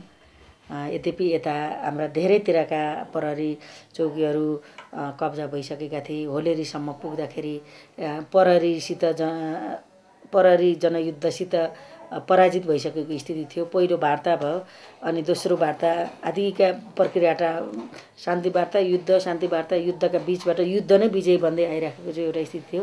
त्यस्तो बिचमा चाहिँ हामीले सेती महाकालीमै ता मतलब ऊ त्यो लडाकु दलबाट आएका साथीहरूलाई र विभिन्न होल्टाइमर कार्यकर्ताहरूलाई लिएर तालिम दियौँ। पहिलो प्लाटुन बनायौँ। अनि त्यो पहिलो प्लाटुनको फौजी कारबाही त्यति बेलासम्म पहाडी क्षेत्रमा जहाँ पनि कारबाहीहरू भइसकेका थिए। तर मधेसमा अथवा तराईमा चाहिँ त्यो खालका कारबाहीहरू भए भएको थिएनन् हामीले पहिलोचोटि कैलालीको लालबजी जो ठ्याक्कै सीमा क्षेत्रमा पर्छ दिउँसै गएर कमान्डो कारबाही गऱ्यौँ र त्यो कारबाही असाध्यै शानदार हामीले लामो तिन हप्ता लामो मतलब फौजी तालिम चलायौँ प्रा फिजिकल तथा प्राविधिक तालिम। त्यसपछि प्लाटुनको फर्मेसन गऱ्यौँ र त्यो पहिलो कारबाही कारबाही असाध्यै शानदार ढङ्गले सफल भयो तर प्लाटुनकै कमान्डर सहित हुनुभयो। त्यसपछि पनि फेरि हामीले त्यसको त्यसको केही दिनमा कुख्यात दरबार हत्याकाण्ड भएको थियो अनि हामीले त्यस ठिक त्यही बेलातिर चाहिँ फेरि कैलालीकै बिपी नगर भन्ने एउटा अलिक ठुलो प्रहरी चौकी मानिन्थ्यो त्यसलाई पनि त्यहाँ पनि हामीले सफल फौजी कारवाही गऱ्यौँ बिना क्षति। त्यसपछि बल्ल यता पहिलो वार्ताको प्रसङ्ग आयो र प्रहरीसित प्रहरीसितको लडाइँ सकियो। अनि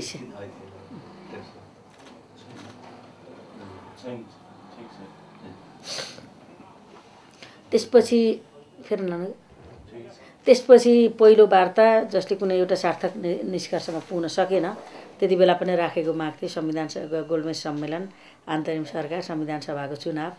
संसदवादी पार्टीकै यो वा त्यो दलको नेतृत्व हुन्थ्यो कुरा मिलेन।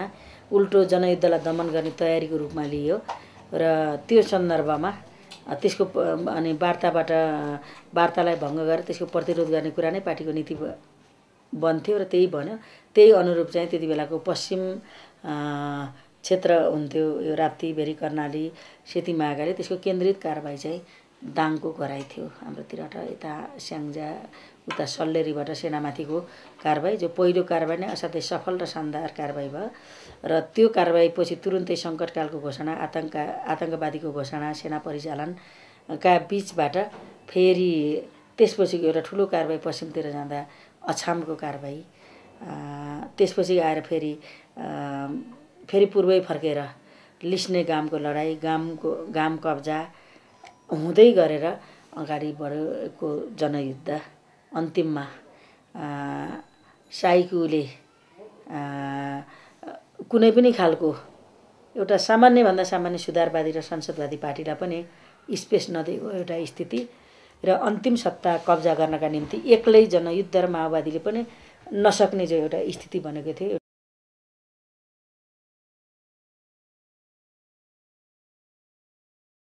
हाम्रो चुनमाङ बैठक जो ऐतिहासिक बैठक छ त्यो हाम्रो पार्टीको आन्तरिक जीवनको हिसाबले पनि र वर्ग सङ्घर्षको हिसाबले पनि र हाम्रो त्यहाँ दुईवटा महत्त्वपूर्ण मतलब विषयहरू त्यहाँ छन् वर्ग सङ्घर्षको हिसाबले।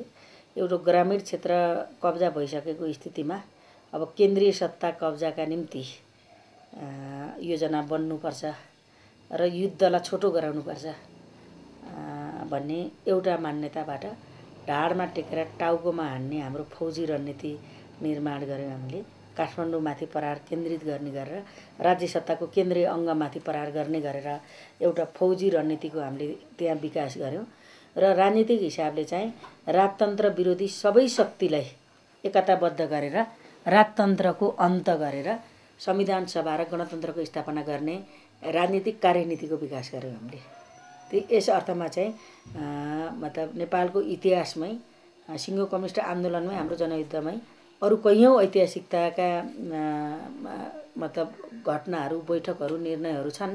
अ, त्योमध्येको चुनबाङको निर्णय र त्यही अनुरूपै अनि हामीले टाउकामा ढाडमा टेकेर टाउकामा हान्ने नीति अन्तर्गत पश्चिमका चारवटै डिभिजन चाहिँ हामीले लिएर गण्डकी लुम्बिनीमा केन्द्रित गऱ्यौँ र काठमाडौँका निम्ति बाटो सोझ्याउने गरेर र पूर्वको फेरि तिन डिभिजन पनि फेरि काठमाडौँतिर मतलब केन्द्रित गर्ने गरेर सोझ्याउने गरेर हाम्रो फौजी रणनीति गऱ्यौँ र अब गाउँ होइन राज्य सत्ताको केन्द्रमाथि नै प्रहार गर्नुपर्छ भन्ने फौजी रणनीतिको व्यवहारिक अभ्यासतिर लाग्यौँ एका अर्कोतिर राजतन्त्रको अन्त गर्नका निम्ति चाहिँ राजतन्त्र विरोधी सबै शक्तिलाई साथमा लिएर जाने राजनीतिक कार्यनीति अन्तर्गतै अनि नेकपा एमाले र एकीकृत नेकपा एकीकृत का प्रकाशीहरू त रोल्पै पुग्नुभयो।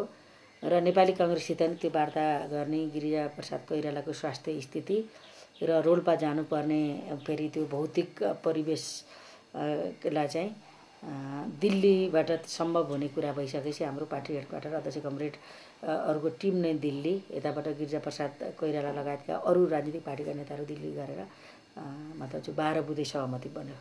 चुनबाङ बैठकको राजनीतिक कार्यनीति अनुरूपै दिल्लीमा बाह्र बुधे समझदारी भयो र सहरमा जनआन्दोलन र त्यसको सपोर्टमा जनयुद्ध। सायद एउटा राम्रो मतलब युद्ध र मतलब जनआन्दोलनको फ्युजन भयो। र जुन दिन हामी यता सहरी आन्दोलनका उच्चतम रूप नेपाल बन्दका कार्यक्रम गर्दै थियौँ। सर्लाहीका सदरमुकामहरू कब्जा हुँदै थिए। जनआन्दोलनका विभिन्न मतलब स्वरूपहरू घोषणा हुँदा पाल्पा बुटोल तौलिया पोखराका कैयौँ मतलब फौजी कारवाहीका परिघटनाहरू अगाडि बढ्थे। पू पूर्वमा सर्लाही लगायतका ठाउँहरूबाट मतलब फौजी सङ्घर्षका कारवाहीहरू हुँदै गर्दा घेरामा जनमुक्ति सेनालाई देख्दै गर्दा गाउँका जनताहरू सहरमा गएर सहरी जनआन्दोलन गर्ने कुरा चाहिँ धेरै उत्साहजनक हुने कुरा चाहिँ मैले आफ्नै आँखाले मैले देख्छु। म लुम्बिनीमा थिएँ बुटोलको जनआन्दोलन अथवा लुम्बिनीका जति पनि जनआन्दोलन छन् पछाडि जनमुक्ति सेना अगाडि जनता हुनुले चाहिँ जनतामा एउटा नयाँ विश्वास पनि र उता दमन गर्न पनि त्यत्रो ठुलो आँट र साहस फेरि सेना पुलिसको नहुने एउटा स्थिति पनि मैले नजिकबाटै अनुभूत गरेँ र त्यही जन आन्दोलनकै बिचमा एका एकातिर फौजी कारवाही अर्कोतिर ज जनपरिचालनका राजनीतिक आन्दोलनकै बिचमा अझै युद्ध विराम भएको थिएन सम्झौता भएको थिएन। त्यो बिचमा मैले कपिलवस्तुका ग्रामीण क्षेत्रहरूमा रूपन्देहीका ग्रामीण क्षेत्रमा मैले हजारौँ हजारौँ मान्छेका बिचमा चाहिँ मैले सम्बोधन गरेको थिएँ। त्यति बेला धेरै चर्चित विषयहरू पनि मतलब बन्थे थिएँ त्यसो गर्दाखेरि अनि त्यो चुनबाङ बैठकको फौजी नीति र राजनीतिक कार्यनीति अनुरूपै बाह्र बुधे समझदारी उन्नाइस दिने जन आन्दोलन जुन ढङ्गले अगाडि बढ्यो तर कार्यान्वयनको प्रक्रियामा जाँदाखेरि एउटा धोकापूर्ण सम्झौता भयो। वैदेशिक शक्तिहरू र देशभित्रका यथास्थिति र प्रतिक्रियावादी शक्तिहरू माओवादी हाबी नहोस् भन्ने कुराको चाहना राख्थे र एउटा खालको सम्झौता वैशाख आठ गते गरियो। त्यो त जनता सम्मेलन अस्वीकार गरे। एघार गतेको सम्झौता जो आन्तरिक सरकार गोलबेज सम्मेलन आन्तरिक सरकार र संविधान सभाको चुनावको जो एउटा सम्झौता सहमति र आन्दोलनको सहकार्य थियो त्यसको विपरीत राजा र संसदवादी मुख्य संसदवादी पार्टीका बिचको जो एउटा मतलब सम्झौता भयो र राजतन्त्रात्मक बहुदलीय संसदीय व्यवस्थाको पुनः स्थापनामा गएर जनताको आन्दोलनलाई तुवाउने धोकापूर्ण मतलब यो सम्झौता गरियो।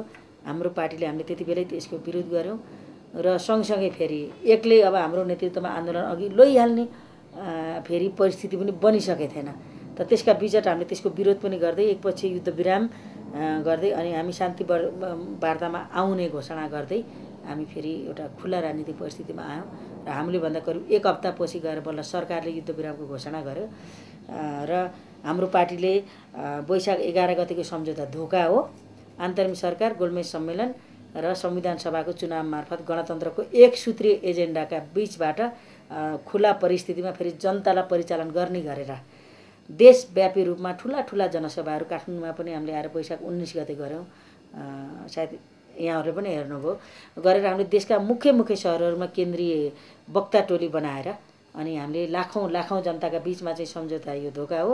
आन्तरिक सरकार गोलमेज सम्मेलन र संविधान सभाको चुनाव मतलब र गणतन्त्रमा जाने कुरा नै अहिलेको नेपाली जनताको आन्दोलनको हो र हाम्रो हिजो बाह्र बुधे समझदारीको एजेन्डा पनि हो र यो आन्दोलनको सहमति पनि त्यसैबाट भएको भन्ने कुरा हामीले जनताको बिचमा देशव्यापी पुर्याइसकेपछि र पार्टी हेडक्वार्टरको तर्फबाट अध्यक्ष कमरेड प्रचण्डले पनि देशव्यापी रूपमा पार्टी कार्यकर्तालाई केन्द्रीय ढङ्गले प्रशिक्षित गर्दै जाने प्रक्रियासम्म पुग्दा नेकपा माओवादीलाई मिनिमाइज गर्ने नेकपा माओवादीको जनयुद्धलाई ओझेलमा पार्ने र मानव उन्नाइस दिनेले नै सबै चिज भएको र यही संसदवादी पार्टीले नै सबै थोक गरेका हुन् त्यसैले जनयुद्ध निरर्थक भन्न पार्नका निम्ति जुन ढङ्गको राजा र संसदवादी पार्टीहरूका बिचमा भएको सम्झौता थियो र हतार हतार संसदको पुनस्थापना गरेर त्यसबाट बटाबट सङ्कल्प प्रस्तावका रूपमा चाहिँ कैयौँ निर्णय जो सङ्कल्प प्रस्ताव लागू गर्नुपर्ने कुनै कम्पल्सन हुन्न।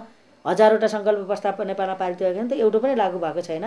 जनयुद्धले स्थापित गरेका विषयहरूलाई चाहिँ सङ्कल्प प्रस्तावका रूपमा ठुलो चिज गऱ्यौँ भने जस्तो गरेर माओवादी जनयुद्ध र माओवादीका एजेन्डालाई पछि पार्नका निम्ति एउटा ठुलो कसरत गरियो। करिब एक महिना डेढ महिना तर अन्तत त्यो कुरा सम्भव थिएन। यथार्थता जनयुद्ध थियो त्यसको पछाडिको तागत जन जनमुक्ति सेना थियो र बाह्र बुधे समझदारी जनयुद्ध र जनआन्दोलनको फ्युजन थियो र त्यसबाट देश अघि आएको कुरालाई लुकाएर लुक्न सकेन। अस्वीक जनतामा भरम दिन खोजेर त्यो भरम हुन सकेन र त्यो भरम हुन नसक्नुको यथार्थता चाहिँ हामीले पश्चिममा हामी कार्यरत क्षेत्रको एउटा ठुलो कार्यकर्ता पङ्क्तिको प्रशिक्षण थियो कास्कीको शिवलेखमा अनि गृहमन्त्रीहरू हेलिकप्टर लिएर हाम्रो पार्टी नेतृत्वलाई भेट्न त्यहीँ जाने कुरा अनि फेरि त्यसको दुई दुई तिन दिनपछि फेरि पोखराबाट हेलिकप्टरबाटै बोकेर बालुवाटार ल्याउने कुरा चाहिँ के थियो भन्दा जनयुद्ध जनमुक्ति सेना र माओवादीको भूमिकाको स्वीकारोक्ति थियो र असार आठ गते बालुवाटारबाट जुन ढङ्गको घोषणा भयो अन्तरिम सरकार बनाउने संविधान सभाको चुनाव मार्फत गणतन्त्रमा जाने जुन उद्घोष गरियो त्यो सायद त्यसैको उपलब्धि थियो र म त्यति बेला मैले लुम्बिनी उपब्युरो थियो त्यति बेला। मैले त्यसको इन्चार्जको हिसाबले गण्डक कमान हेर्थेँ। गण्डक कमानको पनि र मैले लुम्बिनी उपब्युरोको मेरो मूर्त जिम्मा थियो। यतापट्टि म केन्द्रीय वक्ता टोलीमा थिएँ। त्यसरी मैले देशव्यापी रूपमा मतलब जनसभामा सम्बोधन गर्ने कुरा र यता वार्ता टोली भनेपछि फेरि म केन्द्रीय वार्ता टोलीमा पनि रहेर चाहिँ मैले शान्ति प्रक्रियाका बिचमा आफ्नो भूमिका मैले पुरा गरेँ।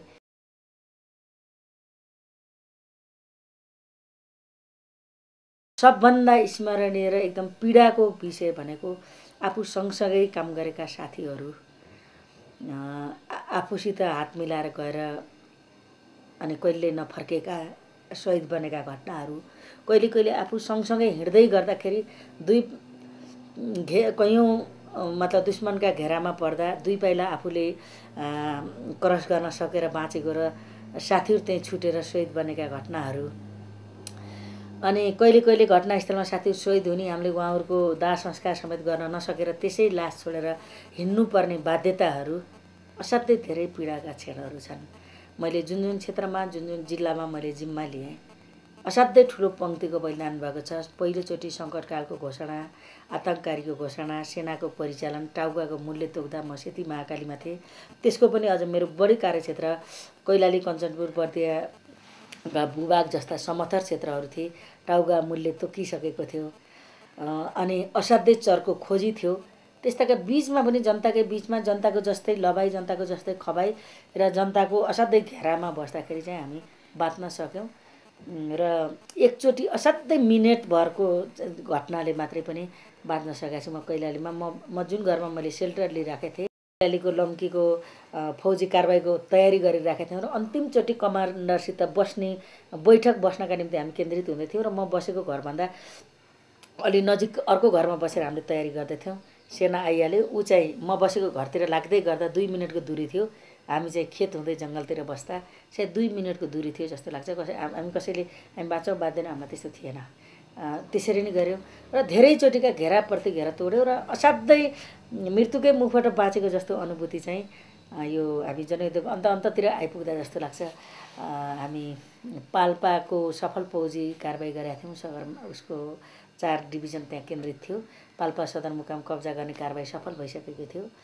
त्यसपछि फेरि तल नवलपरासीमा असाध्यै शानदार सफल एम्बुसको कारवाही सफल भएको थियो एउटा ठुलो सेना चाहिँ सडकमै ढलेको थियो। चार दिनसम्म उनीहरूले उनीहरूकै लास उठाउन नसकेको एउटा स्थिति थियो। त्यसपछि भएभरिको शक्ति केन्द्रित गरेर उनीहरूले दक्षिण पाल्पा र उत्तर नवलपरासीलाई घेरा हालिराखेका थिए। अनि चार डिभिजन धेरैजना घाइते साथीहरू हुनुहुन्थ्यो। त्यसका बिचबाट अनि हामी घाइते साथीहरू अलिक सुरक्षित ठाउँमा लाने र उपचार गराउने बाहिर पठाउनुलाई बाहिर पठाउने तयारी गरेर मैले त्यसको कमान्ड गरेर हिँडिराखेको थिएँ। बिहानको खाना खायौँ। एउटा रिपोर्ट आयो अब यताबाट सेना छैन भन्ने रिपोर्ट आएको आधारमा हामी त्यतातिर लाग्यौँ तर हामी कहाँ गलत रिपोर्ट आएको रहेछ। अनि साथीहरू अलिक ढिलो ढिलो गरेपछि अनि म अलिक छिटो हिँड्न खोजेँ। र अलिक मै अगाडि थिएँ मसित सातजना मेरा अङ्गरक्षकहरू हुनुहुन्थ्यो भाइ बहिनीहरू अनि त्यसो गर्दै गर्दाखेरि हामी बडो जम्का भेट दुई मिनट जतिको दुरी दुई दौड्दाखेरि दुई मिनट जतिको दुरीमा चाहिँ हामी आम्ने सामने भयो त्यसपछि हामी पछाडि फर्क्यौँ। पछाडि फर्केपछि समथर खेत थियो सायद त्यो गाह्रो हुन्छ जस्तो लाग्यो र अनि हामी उकालोतिर जङ्गल थियो जङ्गल छिर्यौँ धेरै साथीहरूले तेर्सो बाटो रोज्नु भएछ अनि म र मेरा केही अङ्गरक्षकले हामी उकालो भए पनि जङ्गल हामीले छान्यौँ किनकि मध्याह थियो त्यो एघार बाह्र बजेको टाइम। अनि मध्याहको टाइम भएर मैले जङ्गल छिरेँ। त्यो बिचमा चाहिँ उनीहरूले पहिला सर्ट हतियारले एम सिक्सटिन जस्ता एसएलआर जस्ताबाट गोली चलाए। त्यो लागेको जस्तै फिल हुन्थ्यो। त्यही पनि हामी दौडी दौड्यौँ। तर एउटा चिज के भएको थियो भन्दाखेरि खोलामा जम्काएर उनीहरू पनि ब्याक किनकि हामी कति शक्ति छौँ हामी चार डिभिजन त्यहाँ भएकोमा हामी कति छौँ उनीहरूले त्यो बुझेनन्। उनीहरू पनि अलिकति ब्याक र हतियार चलाउन थाले। हामी फेरि यता फर्किने गर्दा अब दुईबाट चार चारबाट छ मिनटको दूरी हुन थाल्यो।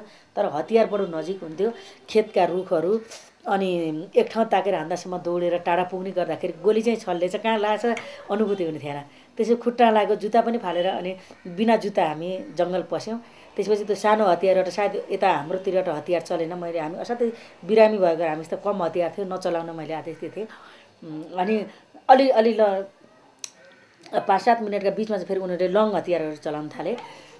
त्यसको बिचमा रुखको सहारा लिँदै कति बेला कोल्टोको सहारा लिँदै अनि हामी जङ्गल अझै अझै अझै बिच बिच गयौँ र पर गएर हामीले झोला पनि छोड्यौँ। र एउटा सानो झोला माथि बोक्यौँ हामीले। र हाम्रा बोकेका ठुला झोला गऱ्यो त्यहाँसम्म जाँदा केवल मेरो एउटा स्टाफ मात्रै मसित हुनुहुन्थ्यो। हामी दुईवटा भयो। अनि त्यही पनि हतियार मैले नचलाउन भने त्यो एउटा हतियारले हामी कहाँ छौँ भन्ने सङ्केत मात्रै दिन सक्थ्यो। हाम्रो रक्षा गरेको थिएन त्यही भएर हामीले हतियार नचलाउने निर्णय गऱ्यौँ मसँग एउटा पिस्तोल माउजहरू थियो। हामी त्यो हतियार नचलाइ नचलाइ हामी एकदम आधा घन्टा जतिको दूरीबाटमा हामी पुग्यौँ। र गएर हामी एउटा रुखको सहारा लिएर बस्यौँ। अब चाहिँ हामी अलि गरौँला भन्ने तल खेत गाउँ भएको भएर माथिबाट देखिने पनि तर जङ्गल पनि भएको भएर अब त बच्यो जस्तो लागिसकेको थियो हामीले। त्यो नजिकबाट हानेका एसएमजी र एसएलआरका अनि अल अलि अलि पर जाँदा टु इन्च मोटारका तिनी गोलीहरू हामीले सबै छलिसकेका थियौँ र अब त बाँच्यो जस्तो फिल भएको अब अरू साथीहरू पर्नुभयो घाइतेहरू पर्नुभयो भन्ने पीडाले हामी छटपटायौँ अनि त्यही छटपटाएको बिचबाट हुँदा के भयो भन्दाखेरि त्यो फोर्स धेरै कम रहेछ। वास्तवमा उनीहरूको नि। हामी त एक सय पैँतिसजना थियौँ। बिरामी घाइतेसहित छजना त बिरामी बोक्नु नै चाहिन्थ्यो आलो पालो गर्ने। त्यसरी हतियार हामीसित असाध्यै कम थियो। दस पन्ध्र मिनट पछि फेरि हेलिकप्टर आएर अनि माथिबाट अब जङ्गलमा हतियार खसाउन थाल्यो त्यो जङ्गल खस्यो धेरै ठुलो रुख भएर हामी धेरै मात्र सहारा लिने जस्तो थिएन। जङ्गल बाक्लो देखिने तर त्यो हुन्छ नि two inch mortar eighty one अनि जिपिएमजीका गोली छल्ने जस्तो नलाग्ने।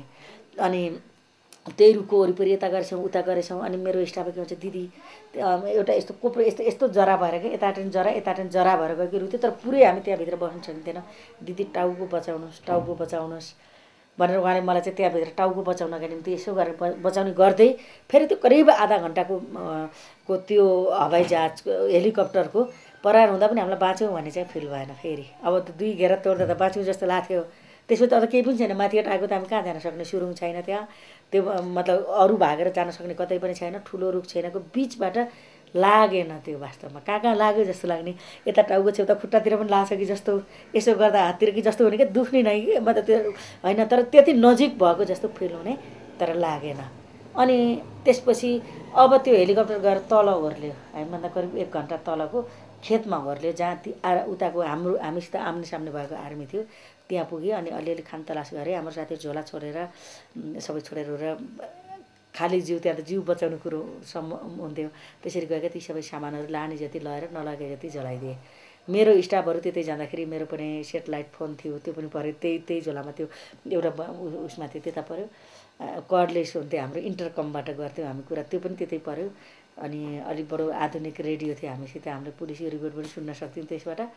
सेनाको त बुझिन्थेन अनि रेडियो पनि सुनिने त्यो सबै चिज त्यतै त्यो बहिनीसित परेर चाहिँ त थाहा भएन तर अब कति साथीहरूलाई त्यहाँनिर माऱ्यो अनि कति साथीहरू सहिद हुनुभयो कति घाइते हुनुभयो हामी बडो छटपटाहरूको बिचबाट त्यहाँबाट पनि हामी फेरि एक घन्टाको उकालो गयौँ माथि तर त्यहाँबाट जाँदाखेरि कस्तो रहेछ पूर्व जाने बाटो पनि छैन पश्चिम जाने बाटो पनि छैन दक्षिण जाने बाटो पनि छैन। त्यो कति जङ्गल छ भन्ने कुरै छैन। त्यो नवलपरासी उत्तरतिर धेरै घना जङ्गल छ। अनि त्यस्तो भइसकेपछि हामीले के गर्यौँ भने हामी कति साथीहरू पढ्नुभयो अब त्यो रिपोर्ट बुझौँ। हामी भएको कुरा पनि हामीले फेरि अरू कहाँ पुर्याउनु पर्छ।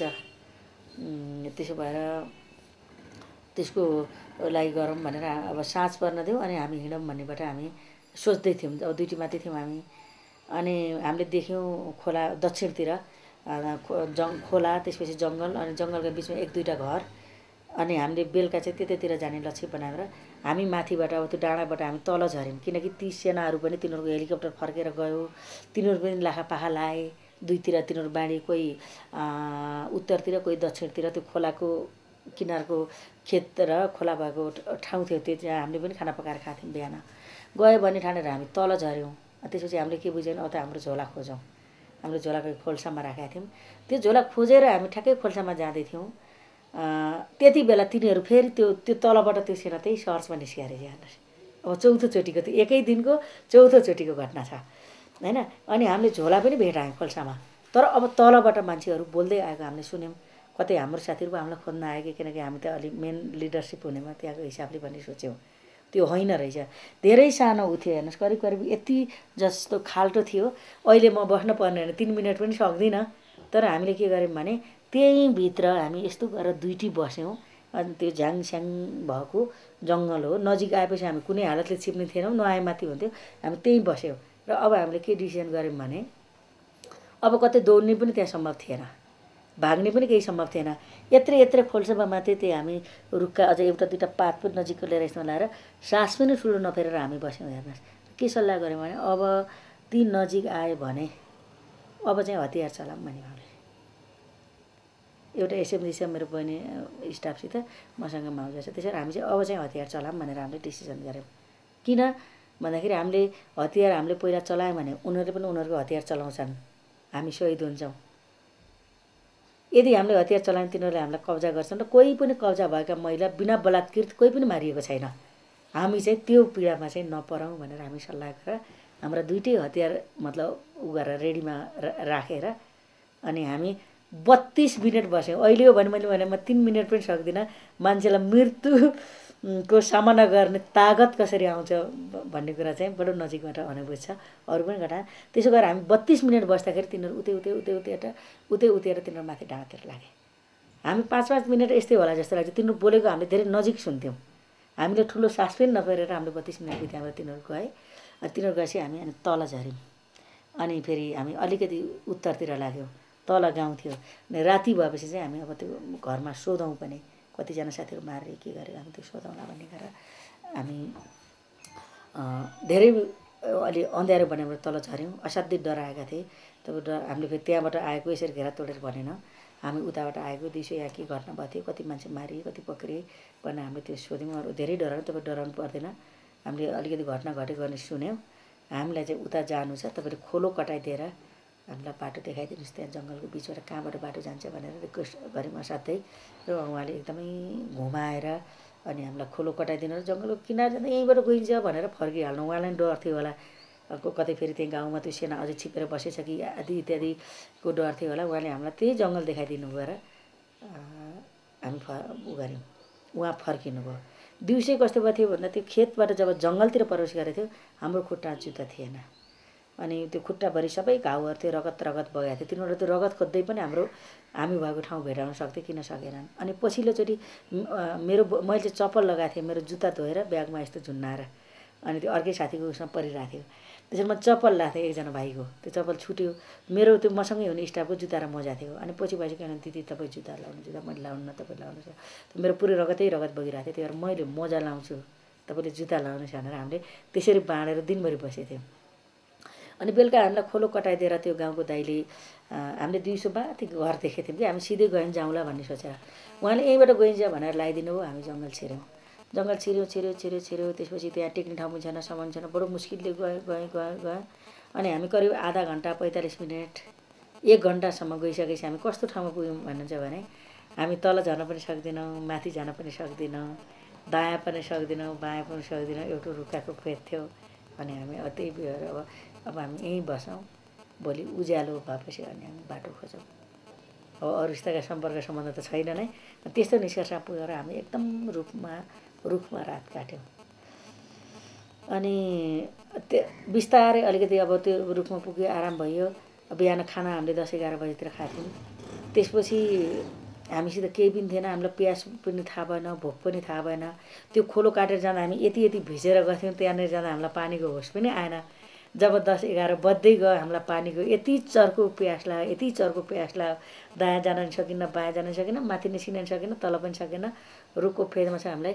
अनि एकदमै पानीको अनि हामीले कल्पना गऱ्यौँ पानी नभए त सकिनँ त्यही कारणले अब भोलि बिहान के गर्ने हामी त? त्यहाँ त अब केही थिएन हामी कुरा गरेर बस्न पनि सक्थ्यौँ। कोही केही मान्छेको ऊ नै देखिन्थेन अनि भोलि बिहान अब फर्स्टमा चाहिँ पानी खोजौँ दक्षिणतिर हामीले दिउँसो खोलो देखाएको थियौँ कति लाग्छ जान। भिर बाटो खोजेर पहिला पानी खाऊँ अनि पानी खाएपछि त्यसपछि अब साथीहरूको सम्पर्क खोज्नतिर लागौँ भन्यौँ अनि बिहान उज्यालो भयो टाढा बत्ती बलेको देखिए थियो। तर त्यस्तो जाने सम्भव थिएन। त्यो बाटो खोलो थियो त्यस्तै देख्यौँ देख्यौँ अनि हामी त्यहीँ बस्यौँ बस्यौँ अनि उज्यालो भयो। अनि उज्यालो हामी कता जाने अब भन्न त हामी यस्तो ठाउँमा थियौँ यताउता लाग्न नसक्ने। त्यहाँ गएपछि त्यहाँ बिस्तारै हामीले रु त्यो घाँस समाउँदै रुख समाउँदै एउटा साइडतिर लाग्यौँ। यसो माथि हेऱ्यौँ। पाँच मिनट पनि नलाग्ने ठाउँमा हामीले यस्तो रुखका हाँगा काटेको देख्यौँ। होइन? हाँगा काट्नुको मतलब हो जन मान्छे आउँछन् जान्छन्। त्यसरी हामी अब मान्छे जति घन्टाको बाटो भयो भने यो आउने जाने ठाउँ त रहेछ नि भन्ने हामीलाई एउटा आशा जाग्यो। त्यहाँबाट हामी बिस्तारै त्यहाँबाट दायाँ बायाँ गरेर बाटो खोज्यौँ र रुखसम्म हामी त्यो रुख काटेको ठाउँमा जाँदाखेरि रुखभन्दा माथिसम्म बारी रहेछ। जो हामीले दिउँसो देखेको थियौँ पारी। हामी त्यहीँनिर पुग्यौँ भन्ने भएर अनि बिहान गयो जम्मा गाउँ दुईवटा घर भएको गाउँ रहेछ। अनि एउटा घर गएको ढिकै कुट्दै हुनुहुन्थ्यो। गयो त्यो हामीले बोकेको झोलामा चाहिँ मेरो झोला थोरै चिनी र कफी थियो। साइडको खल्तीमा यत्रो पोको पारेको म जहिले पनि चिया कफी बढी खाने मान्छे म जहाँ पनि बोक्थेँ त्यो रहेछ। अनि त्यो घर गएँ त्यसपछि पानी माग्यो। हामीले त पानीको एउटा ठुलो उ थियो अब चौबिस घन्टाभन्दा बढी एकै चौबिस घन्टा भएको थिएन बाह्र घन्टा करिब करिब अठारको बिस घन्टा भएको थियो पानी नखाएको। हामीले पानी मागेर खायौँ। त्यो चिया पकाएर खाऊँ है भन्यो चिया पनि पकाएर खायौँ। अनि एउटा बच्चा रहेछ उसको खुट्टा चप्पल रहेछ। अनि बाबु यो चप्पलको कति परेको भनेर सोध्यौँ सत्तरी रुपियाँ भने। त्यहाँबाट हामीलाई यो किन्न ल्याऊ है भन्यो त्यहाँबाट नाइ भन्यो। हामीले योभन्दा बढी दिन्छौँ तिमीले नयाँ चप्पल किनेर लगाऊ भन्यौँ र अनि हामीले एक सय रुपियाँ दियौँ। अनि त्यो साइज त अलिक मिल्ने थिएन तर हामीलाई खाली खुट्टा हिँड्नुभन्दा त्यो सजिलो थियो। अनि हामीले त्यो चप्पल किन्यौँ। त्यसपछि हामीले जानेको एउटा गाउँ थियो त्यो गाउँ जान कताबाट जाने भनेर बाटो सोध्यौँ अनि उहाँले हामीलाई अलिकति दक्षिण जाने दक्षिण जाँदा एउटा दुई तिनवटा घरबाट गाउँ आउँछ त्यहाँबाट फेरि उता पश्चिम लाग्ने भनेर सिकाइदिनु भएको थियो। हामीलाई अलिकति देखाइदिनु भने पनि अलिकति पर लगेर देखाउन अलि र त्यसपछि हामीले हिँड्दै हिँड्दै हिँड्दै हिँड्दै हिँड्दै एउटा गाउँ भेट्यौँ। त्यसपछि फेरि त्यो ठाउँमा गएर चिया पकाएर खायौँ। अरू खाने हामीलाई मन थिएन। त्यसपछि हामीले अर्को जाने बाटो सोध्यौँ। र एकदमै उकालो बाटो थियो अनि हामी पाल्पातिर लाग्ने गरेर दिनभरि हामी हिँड्यौँ। र अनि बेलुका पुग्ने बेलामा फेरि त्यही घेरा तोडेर आएको एकजना साथी भेटिनु उहाँ उति बेला घेरा तोड्नु भएको रहेछ। को को थिए कति थिए भन्ने थाहा छैन। आफ्नै मसाले त्यो उहाँ हिँड्नु भएको रहेछ। तिनजना भयौँ। त्यसपछि गाउँमा माथि डाँडा जाँदा दुई तिनवटा घर आउँथ्यो पानी मागेर खायौँ। र एउटा गाउँमा गयौँ बेलुका र हाम्रो आएपछि यसो सामान दाल चामल राख्ने घर खाने गर्दै गएर खायौँ। त्यसरी तेल लाउने सेक्ने आदि इत्यादि गर्दै थियौँ। नजिक नजिक हाम्रा साथीहरू पुगेको मसित छुट्टिएका भाइ बहिनीहरू पनि भएको दुई तिनजना फेरि त्यो गाउँमा भएको थाहा पायौँ। अनि राति खोज्छ पठाएर भेटेर ल्यायौँ त्योमध्येको हाम्रो अनेरा सुगीको क्रान्तिकारीको केन्द्रीय पहिलाको केन्द्रीय अध्यक्ष देवेन्द्र पराजुली पनि पल्लो गाउँमा हुने रहेछ त्यो खबर पासी उहाँ पनि ल्यायौँ। र सँगसँगै हामी रातभरि घेरा तोडेका कुरा गऱ्यौँ को को परे नपरेको कुरा गऱ्यौँ। अझै हामी सबैको रेकर्ड सबैसित थिएन। बिहान उठेर भर्खरै अब छिटो छिटो हामीले खाना खाने कामलाई प्रायोरिटी दिन्थ्यौँ जहिले पनि युद्धमा। किनकि कति बेला दुश्मनको घेरामा परिने र के भइने हो भन्ने कुरा चाहिँ ला जति बेला जता पनि जानुपर्ने भएको कारणले खाना पकाएर पहिला खान्थ्यौँ। भर्खर खाना पकाएको थियौँ खाना बिहा थिएनौँ। नजिकै पाँच मिनटको पल्लो गाउँमा सेना आयो भन्ने फेरि खबर आयो। त्यसपछि फेरि हामी त्यो पाकेको भात पनि छोडेर अनि फेरि त्यहाँ चाहिँ नजिकै जङ्गल थियो धेरै ठुला खोल्साहरू थिए हामीले अलि मेसो पाउनु पनि थियो अनि हामी खोल्सातिर झऱ्यौँ। दिनभरि हामी त्यहाँ बस्यौँ। पछि एकजना मात्रै गएर फेरि जनताले डोको बोकेर फेरि डोकाभित्र हालेर त्यो पाक्यो भात तरकारी ल्याइदिनु भयो त्यो पनि खायौँ। र त्यो रात चाहिँ हामीले फेरि गाउँमा नफर्किने निर्णय गरेर त्यतैतिरै जङ्गलतिरै अलिक खर भएको ठाउँमा बस्ने निर्णय गऱ्यौँ अनि भोलिपल्ट चाहिँ अब हामी अझै हाम्रो पुराना सम्पर्क पोइन्टहरू फेरि खोज्दै गयौँ त्यो दिनसम्म पनि अझै केही साथीहरू थपिने साथीहरू घेरा तोड्दै मतलब फेरि भा भाग्दै गरेका साथीहरू पुग्ने गरेर अझै भेट्यौँ सबै रिपोर्ट पाइएन। पाँच दिनपछि मात्रै बल्ल हाम्रा डिभिजन कमान्डरहरू डेपुटी कमान्डरहरूसित चाहिँ हामी सम्पर्कमा भयो अनि मेरो सेट परिवार उहाँहरूले पठाउनु भयो त्यो चाहिँ सायद मलाई लाग्छ त्यो धेरै स्मरणीय र धेरै जटिलताको बिचको थियो तर सौभाग्य कस्तो भने त्यत्रो बिरामी एक सय पैँतिसजनाको हाम्रो टिम थियो। कोही पनि त्यहाँ गोली लाएर सहिद भएन। हामीले छ छजनाले स्टेचरमा बोकेको साथी पनि घस्रेर हिँड्न सकेको।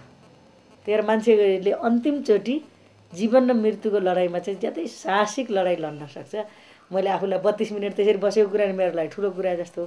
तर स्टेचरमा बोकेका साथीहरू पनि चार घन्टा पाँच घन्टाका बा उसमा मतलब दुरीमा गएका कहीँका कहीँ न कुनै गोठाला या घरका सम्पर्कमा रहेर अनि खबर पठाएर फेरि केन्द्रित गर्ने फेरि औषधि गर्ने प्रक्रिया जाने। मतलब धेरै मतलब धेरै घटनाहरू मध्येका र धेरै आम साथीहरूले भएका घटना मध्येको यो पनि एउटा आम घटना मध्येकै घटना हुन्छ। तर हामी भोग्नेका निम्ति त्यो अलिक विशिष्ट जस्तो सुन्नेका निम्ति चाहिँ धेरै रोमाञ्चक जस्तो हुन्छ।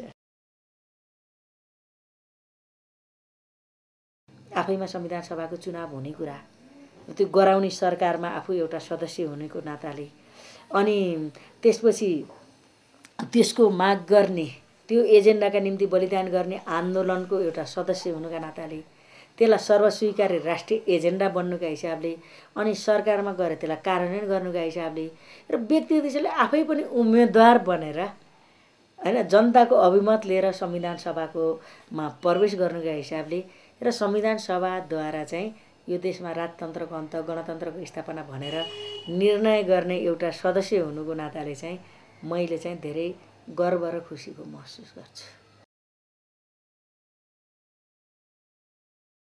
आत्मसमीक्षा भनेको आफूले के गर्यो र के गरेन भन्ने कुरा हुन्छ र हाम्रो व्यक्तिमा आइपुग्दाखेरि मैले के गरेँ गरेन भन्ने कुरा त हामी त एउटा सामूहिक आन्दोलनकोमा लाग्यौँ र व्यक्तिको हिसाबले निर्वाह गर्ने जति भूमिका हुन्छ आफ्नो ठाउँमा रहेर एउटा क्रान्तिकारी पार्टीको केन्द्रमा रहेर केन्द्रीय समिति पोलिट ब्युरोको सदस्य केन्द्रीय सदस्य भएर निर्वाह गर्ने भूमिका निश्चय पनि यो गर्वपूर्ण अवसर हो र त्यसका नीति योजना कार्यान्वयन गर्दाखेरि निश्चय नै सामूहिक निर्णय व्यक्तिगत जिम्मेवारी हुन्छ कम्युनिस्टको प्रणाली। त्यसरी मैले जहिले जहिले जहाँ जिम्मा लिएँ मैले इमान्दारितापूर्वक निष्ठापूर्वक त्यसलाई पुरा गरेकी छु। त्यसैले मलाई त्यसमा खुसी छ। अब त्यो त्यसो गर्दा कहाँ पुगेन भनेर हेऱ्यो भने मैले राजनीतिक प्रकारले हेर्दा अझै पनि हामीले जे उद्देश्यका निम्ति यत्रो बलिदानीपूर्ण युद्धको प्रक्रियाद्वारा यहाँ आयौँ अझै त्यो उद्देश्य पुरा भएन। हाम्रो रणनीतिक उद्देश्य नयाँ जनवादी क्रान्ति सम्पन्न गर्ने कुरा हो। सरबार वर्गको नेतृत्वमा मतलब राज्य सत्ता सञ्चालन गर्ने कुरा त्यो पुरा भएको छैन। जहाँ गएर मात्रै सबै वर्ग जाति क्षेत्र र महिलाका आम समस्याहरूलाई सम्बोधन हुनसक्छ त्यहाँ नपुगेको कुरा चाहिँ मतलब वस्तुगत यथार्थता हो। त्यसो भएर त्यसलाई कहाँ पुर्याउने होला? कसरी अघि बढ्ने होला? एउटा क्वेसन चाहिँ ममा जन्मिन्छ। किनकि हामी त्यो उद्देश्य राखेर शान्तिपूर्ण राजनीतिमा आएका छौँ। एक ढङ्गले संसदीय राजनीतिको अभ्यासमा आएका छौँ।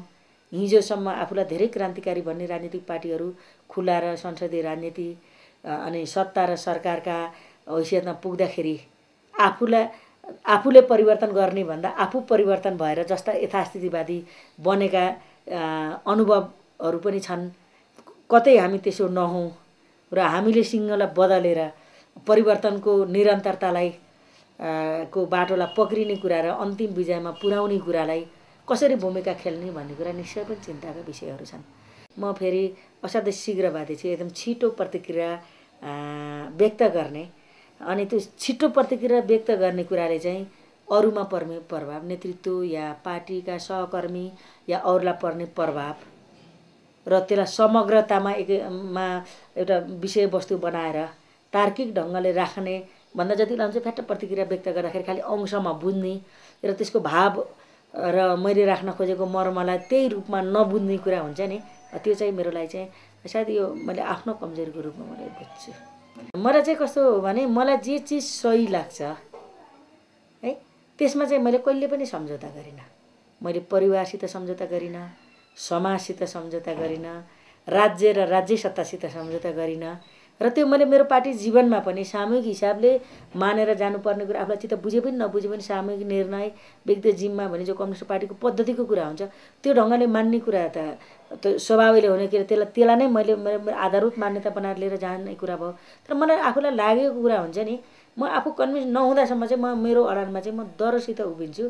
सायद मेरो स मेरो निम्ति यो सफलताको पाटो हुनसक्छ कहिले कहिले एउटाको सफलता अर्कोको निम्ति चाहिँ फेरि नकारात्मक पनि बन्न सक्छ होला। मैले जति बेला जुन पार्टीबाट प्रवेश गरेँ जो नेतृत्व थियो मैले एकीकृत चौथो महाधिवेशन मैले सत्ताइस मतलब सैँतिस सालमा पार्टी सदस्यता लिएर म अगाडि बढेँ। त्यहाँ कस्तो थियो भन्नुहुन्छ भने महिला भनेको एकदम सहायक शक्तिका रूपमा मात्रै स्वीकार्ने परिपूरक शक्तिको रूपमा स्वीकार्ने ती बराबरीको र निर्णायक शक्तिको रूपमा नस्वीकार्ने सिद्धान्तमा बराबर भन्ने तर प्र्याक्टिसमा त्यस्तो थिएन। इभेन कस्तो हुन्थ्यो भन्नुहुन्छ भने महिलालाई एउटा पार्टी सदस्य दियो। जनवर्गीय संगठनको केन्द्रमा नि पुऱ्याएको छ। त्यो पार्टीमा चाहिँ सिएल समितिभन्दा माथि नहुने चलन थियो हेर्नुहोस्। है? तर बिस्तारै गएर पार्टी जब क्रान्तिकारी बन्दै गयो पार्टीले क्रान्तिकारी विचार क्रान्तिकारी नेतृत्व पाउँदै गयो त्यसपछि यो फरक हुँदो रहेछ। अध्यक्ष कमरेड प्रचण्ड त्यति बेला पार्टीको महामन्त्री आउनुभयो जनयुद्धको थालनी गर्ने कुरा गर्नुभयो महिलालाई बराबरीको भूमिका दिने एउटा प्रक्रियाको चाहिँ थालनी भयो। यद्यपि म महिलै भएर मैले महिलाको उत्पीडनबाट महिलाको असमानताले राजनीतिमा आएँ तर मैले महिलाको निम्ति मात्रै भनेर गएन मैले राज्य नै कसरी परिवर्तन गर्ने भन्ने मेरो उद्देश्य भएको हो मेरो वास्तवमै भनिन्छ भने। अनि त्यसो गर्दाखेरि त्यहाँनिर जाँदाखेरि त्यो अन्तिममा त के हुँदो रहेछ विचार क्रान्तिकारी हुनु र नहुनुले पो हुँदो रहेछ। महिलालाई भूमिका दिने र नदिने अवसर दिने र नदिने नदिने भन्ने कुरा चाहिँ त्यस्तो हुँदो रहेछ। एकदमै। अझ जनयुद्धको कार्यनीति भनेको सबभन्दा क्रान्तिकारी कार्यनीति हो। त्यहाँ आइसकेपछि त महिलालाई चाहिँ मतलब बराबरको भूमिका दिने त कुरा छोडिदिनुहोस्। कि अझै अलि अलिकति विशेष अवसर दिनुपर्छ भन्ने नै मान्यता हाम्रो पार्टीले राख्यो वास्तवमा भन्नुहुन्छ नाइ भने म म त एउटा म व्यक्तिको हिसाबले त म प्रतिस्पर्धा गरेर आउन सक्छु। मेरो तहसम्म मैले जुन तहमा हो म त्यहाँ हुन म त सक्छु। तर आम महिलाको निम्ति त त्यो त सम्भव छैन हेर्नुहोस्। तर त्यसो गर्दाखेरि चाहिँ हाम्रो अन्तिममा चाहिँ पार्टी कार्यदिशा नै सबै चिज हुँदो रहेछ हेर्नुहोस्। त्यसो भइसकेपछि कस्तो भयो महिलालाई मतलब आन्दोलनमा ल्याउने कुरालाई चाहिँ एउटा निर्णायक विषय बनाइयो। हाम्रो पार्टी र हाम्रो पार्टी अध्यक्ष कमरेड प्रचण्डद्वारा। र प्रचण्डको अर्को के पनि रह्यो भने क्रान्ति गर्नका निम्ति साधन मात्रै होइन कि महिला। क्रान्तिपछि त्यसको रक्षा गर्ने कुरा पनि महिलाबाट हुन्छ ताकि प्रतिक्रान्ति हुन। धेरै देश जस्तो देशमा कम्युनिस्टहरूले सत्ता प्राप्ति गरे महिलाले अलिअलि बराबर अधिकार पाए तर त्यो प्रतिक्रान्ति भइहाल्यो। कहीँ पनि विश्वमा एउटा पनि कम्युनिस्ट देश छैन। चौधवटा देशमा समाजवाद आउँदा पनि। त्यसरी क्रान्तिभन्दा प्रतिक्रान्तिबाट कसरी बचाउने भन्ने कुरा मुख्य हो भन्नेबाट सोच्ने हाम्रो अध्यक्ष कमरेड प्रचण्डले। अनि क्रान्ति सम्पन्न गर्ने महत्त्वपूर्ण भाग त महिला हुन्छन् हुन्छन्। तर प्रतिक्रान्तिबाट क्रान्तिको रक्षा गरिराख्ने तागत पनि महिला हुन्छन्। त्यसैले महिलालाई चाहिँ विशेष प्रायोरिटी दिनुपर्छ भन्ने अध्यक्ष कमरेडको नीतिले नै हाम्रो आन्दोलनमा महिलाको सहभागिता र महिलाको नेतृत्व विकासको निम्ति एउटा विशेष मतलब भूमिका नै हाम्रो राजनीतिक विचार र मतलब विचारले गरेको छ। त्यसो गर्दा त्यो त अध्यक्ष कमरेडको कुरा हुने भयो।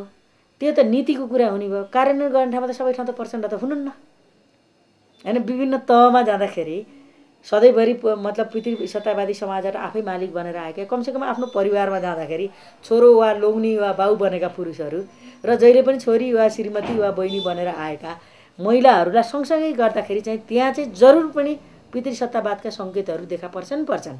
तर विचारले प्रशिक्षित गरिसकेपछि ती पितृसत्तावादी चेतना पनि पराजित हुन्छन् र महिला स्वयंले आफूलाई वैचारिक हिसाबले परिपक्व गरिसकेपछि देखा आफ्ना आफ्ना ठाउँमा देखा पर्ने पितृसत्तावादी कतै सोचका कुरा कतै व्यवहारका कुरा कतै मतलब आदर्शका कुरा छन् भने त्यसका विरुद्ध पनि लड्न सक्ने हुँदो रहेछ।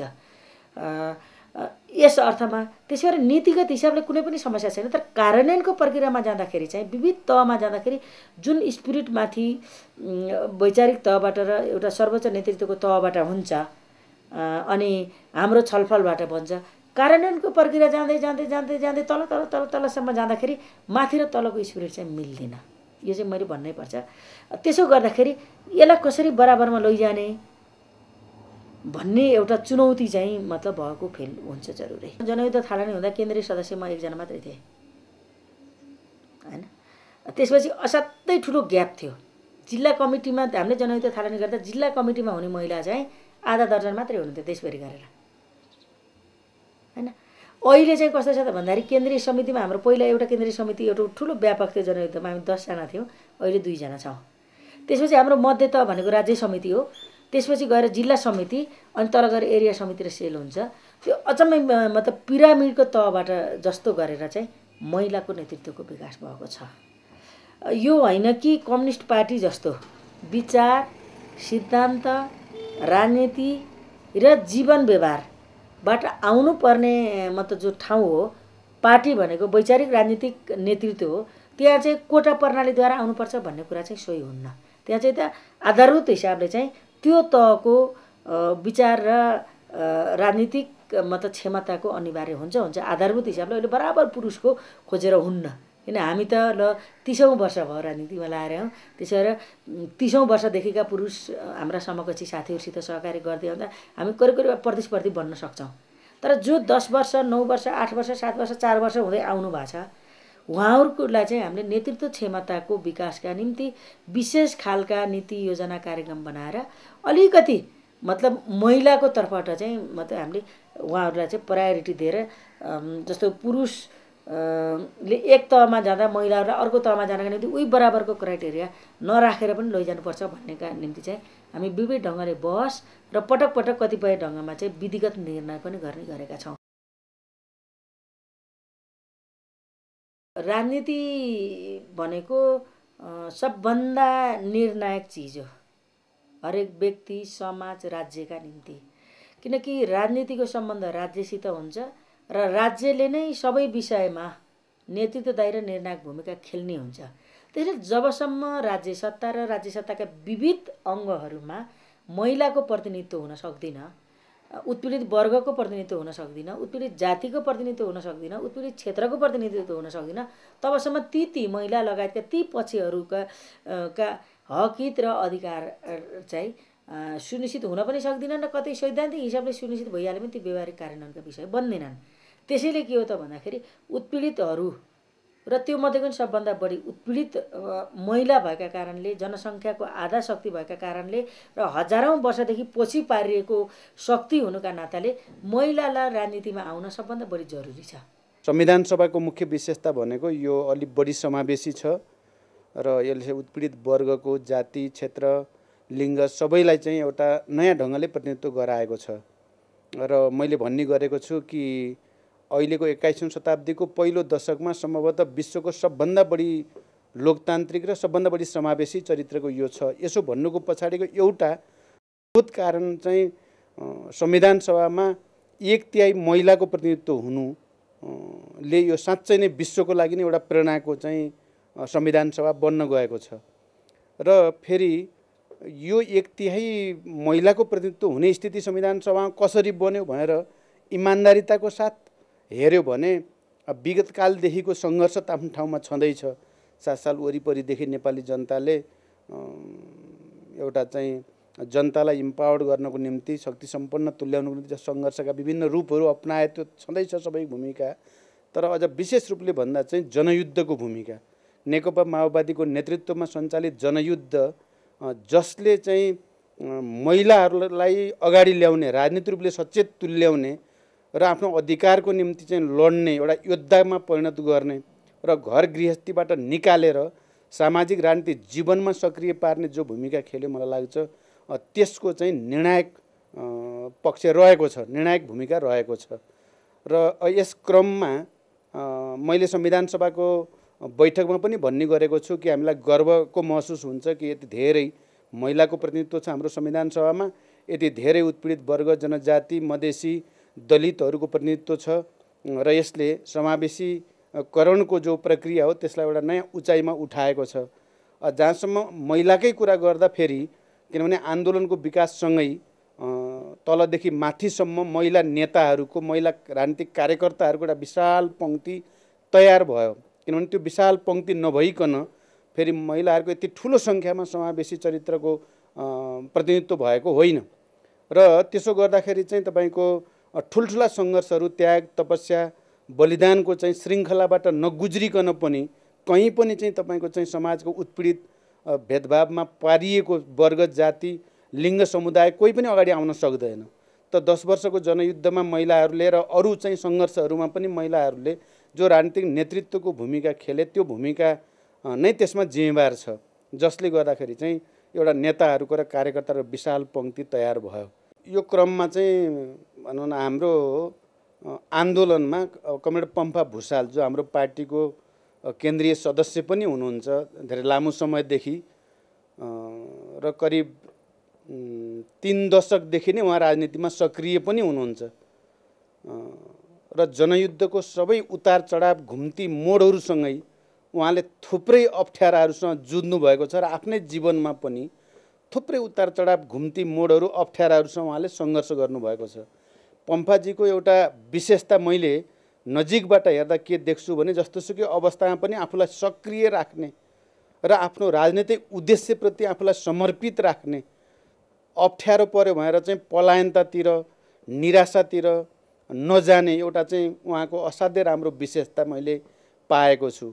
र विषयलाई अन्य तरिकाले भन्दा लैङ्गिक इत्यादि तरिकाले भन्दा चाहिँ राजनीतिक तरिकाले बढी हेर्न खोज्नु उहाँको अर्को विशेषता हो। किनकि प्राय फेरि महिलाहरू चाहिँ अलिकति अगाडि आउने बित्तिकै बढी महिलावादी ढङ्गले सोच्ने लैङ्गिक तरिकाले सोच्ने मान्छेहरू बढी देखिन्छ। हाम्रो पम्फाजीको विशेषता के हो भने उहाँ राजनैतिक तरिकाले सोच्नुहुन्छ विषयलाई। यो समाज राज्य व्यवस्था परिवर्तन रूपान्तरण यी सबै कुरालाई उहाँ धेरै पहिलेदेखि पनि उहाँ विद्यार्थी कालदेखि नै भनौँ अलि राजनीतिक रूपले हेर्ने विशेषता त्यसले पनि उहाँलाई चाहिँ अगाडि ल्यायो भन्ने मलाई लाग्छ। र निरन्तरता एउटा चाहिँ फेरि अलिकति आमूल परिवर्तनको राजनीतिप्रति बडो चाहिँ समाजमा त उतार चढाव घुम्तीहरू भइराख्छन् गत्यावरोधहरू पनि आउँछन् थुप्रै चाहिँ अप्ठ्यारा स्थितिहरू पनि बन्छन् माने जीवन र राजनीतिक जीवनमा जस्तोसुकै अवस्थामा पनि अलि आमूल परिवर्तनको राजनीति अलिकति क्रान्तिकारी राजनीतितिर चाहिँ आफूलाई ढल्काइराख्ने विशेषता पनि पम्फाजीको एउटा महत्त्वपूर्ण विशेषता हो भन्ने मलाई लाग्छ। दुई हजार अडतिस सालको हामी अयोध्या प्लेनम भन्ने गर्छौँ पार्टीको त्यति बेला चौथो महाधिवेशनको। त्यो अयोध्या प्लेनमको चाहिँ मा उहाँ पनि हुनुहुन्थ्यो म पनि सायद हामी केन्द्रीय खालको चाहिँ सङ्घर्षमा पहिलोचोटि भाग लिएको त्यही हो। र त्यो सङ्घर्ष त्यहाँ लामाजीको एउटा लाइनका विरुद्ध सङ्घर्ष भयो त्यसपछि फेरि मोहन विक्रमको चाहिँ लाइनका विरुद्ध अलिक पछाडि गएर सङ्घर्ष भयो। पछि फेरि हामी एकता केन्द्र बनेपछि त्यहाँ पनि थुप्रै सङ्घर्षहरू भए। यी सबै सङ्घर्षको क्रममा जहिले पनि उहाँले आफूलाई सुधारवादतिर होइन क्रान्तिकारी कित्तातिर उभ्याउनु भयो। यो विशेषताले पनि उहाँलाई क्रान्तिकारी आन्दोलनको एउटा महिला नेताको रूपमा स्थापित गरायो भन्ने मलाई लाग्छ। र अब यो सबै उसमा फेरि हामीले के भन्छौँ एउटा मार्क्सवादी हुनुको नाताले हामीले चाहिँ हरेक मान्छेका सकारात्मक र नकारात्मक राम्रा र नराम्रा पक्ष हुन्छन् भनेर हामी मान्छौँ र मान्नै पर्छ किनभने मान्छे कोही पनि देउता हुँदैन। त्यस दृष्टिकोणले हेऱ्यो भने पम्फाजीको विषयलाई राजनीतिक रूपले हेर्दा हेर्दै पनि चाहिँ कैयौँ पटक चाहिँ तपाईँको चाहिँ अलिकति चाहिँ तपाईँको चाहिँ भावुकता अलिकति बढी चाहिँ महिलाहरूप्रति कहिलेकाहीँ अलिकति चाहिँ तपाईँको के भन्ने त्यसलाई अलि त्यति अरुचि जस्तो आफूलाई अलिक बढी चाहिँ पुरुषवादी जस्तो जस्तो रूपले पेस गर्न खोज्ने खालका यस्ता चिजहरू पनि उहाँका बेला बखत देखिने गर्छन्। यी उहाँका चाहिँ कमजोर पक्ष भएर भन्नुपर्छ। तर उहाँको समग्र जीवनलाई हेऱ्यो भने उहाँका जो विशेषताहरू छन् ती कमजोरीभन्दा धेरै माथि छन्।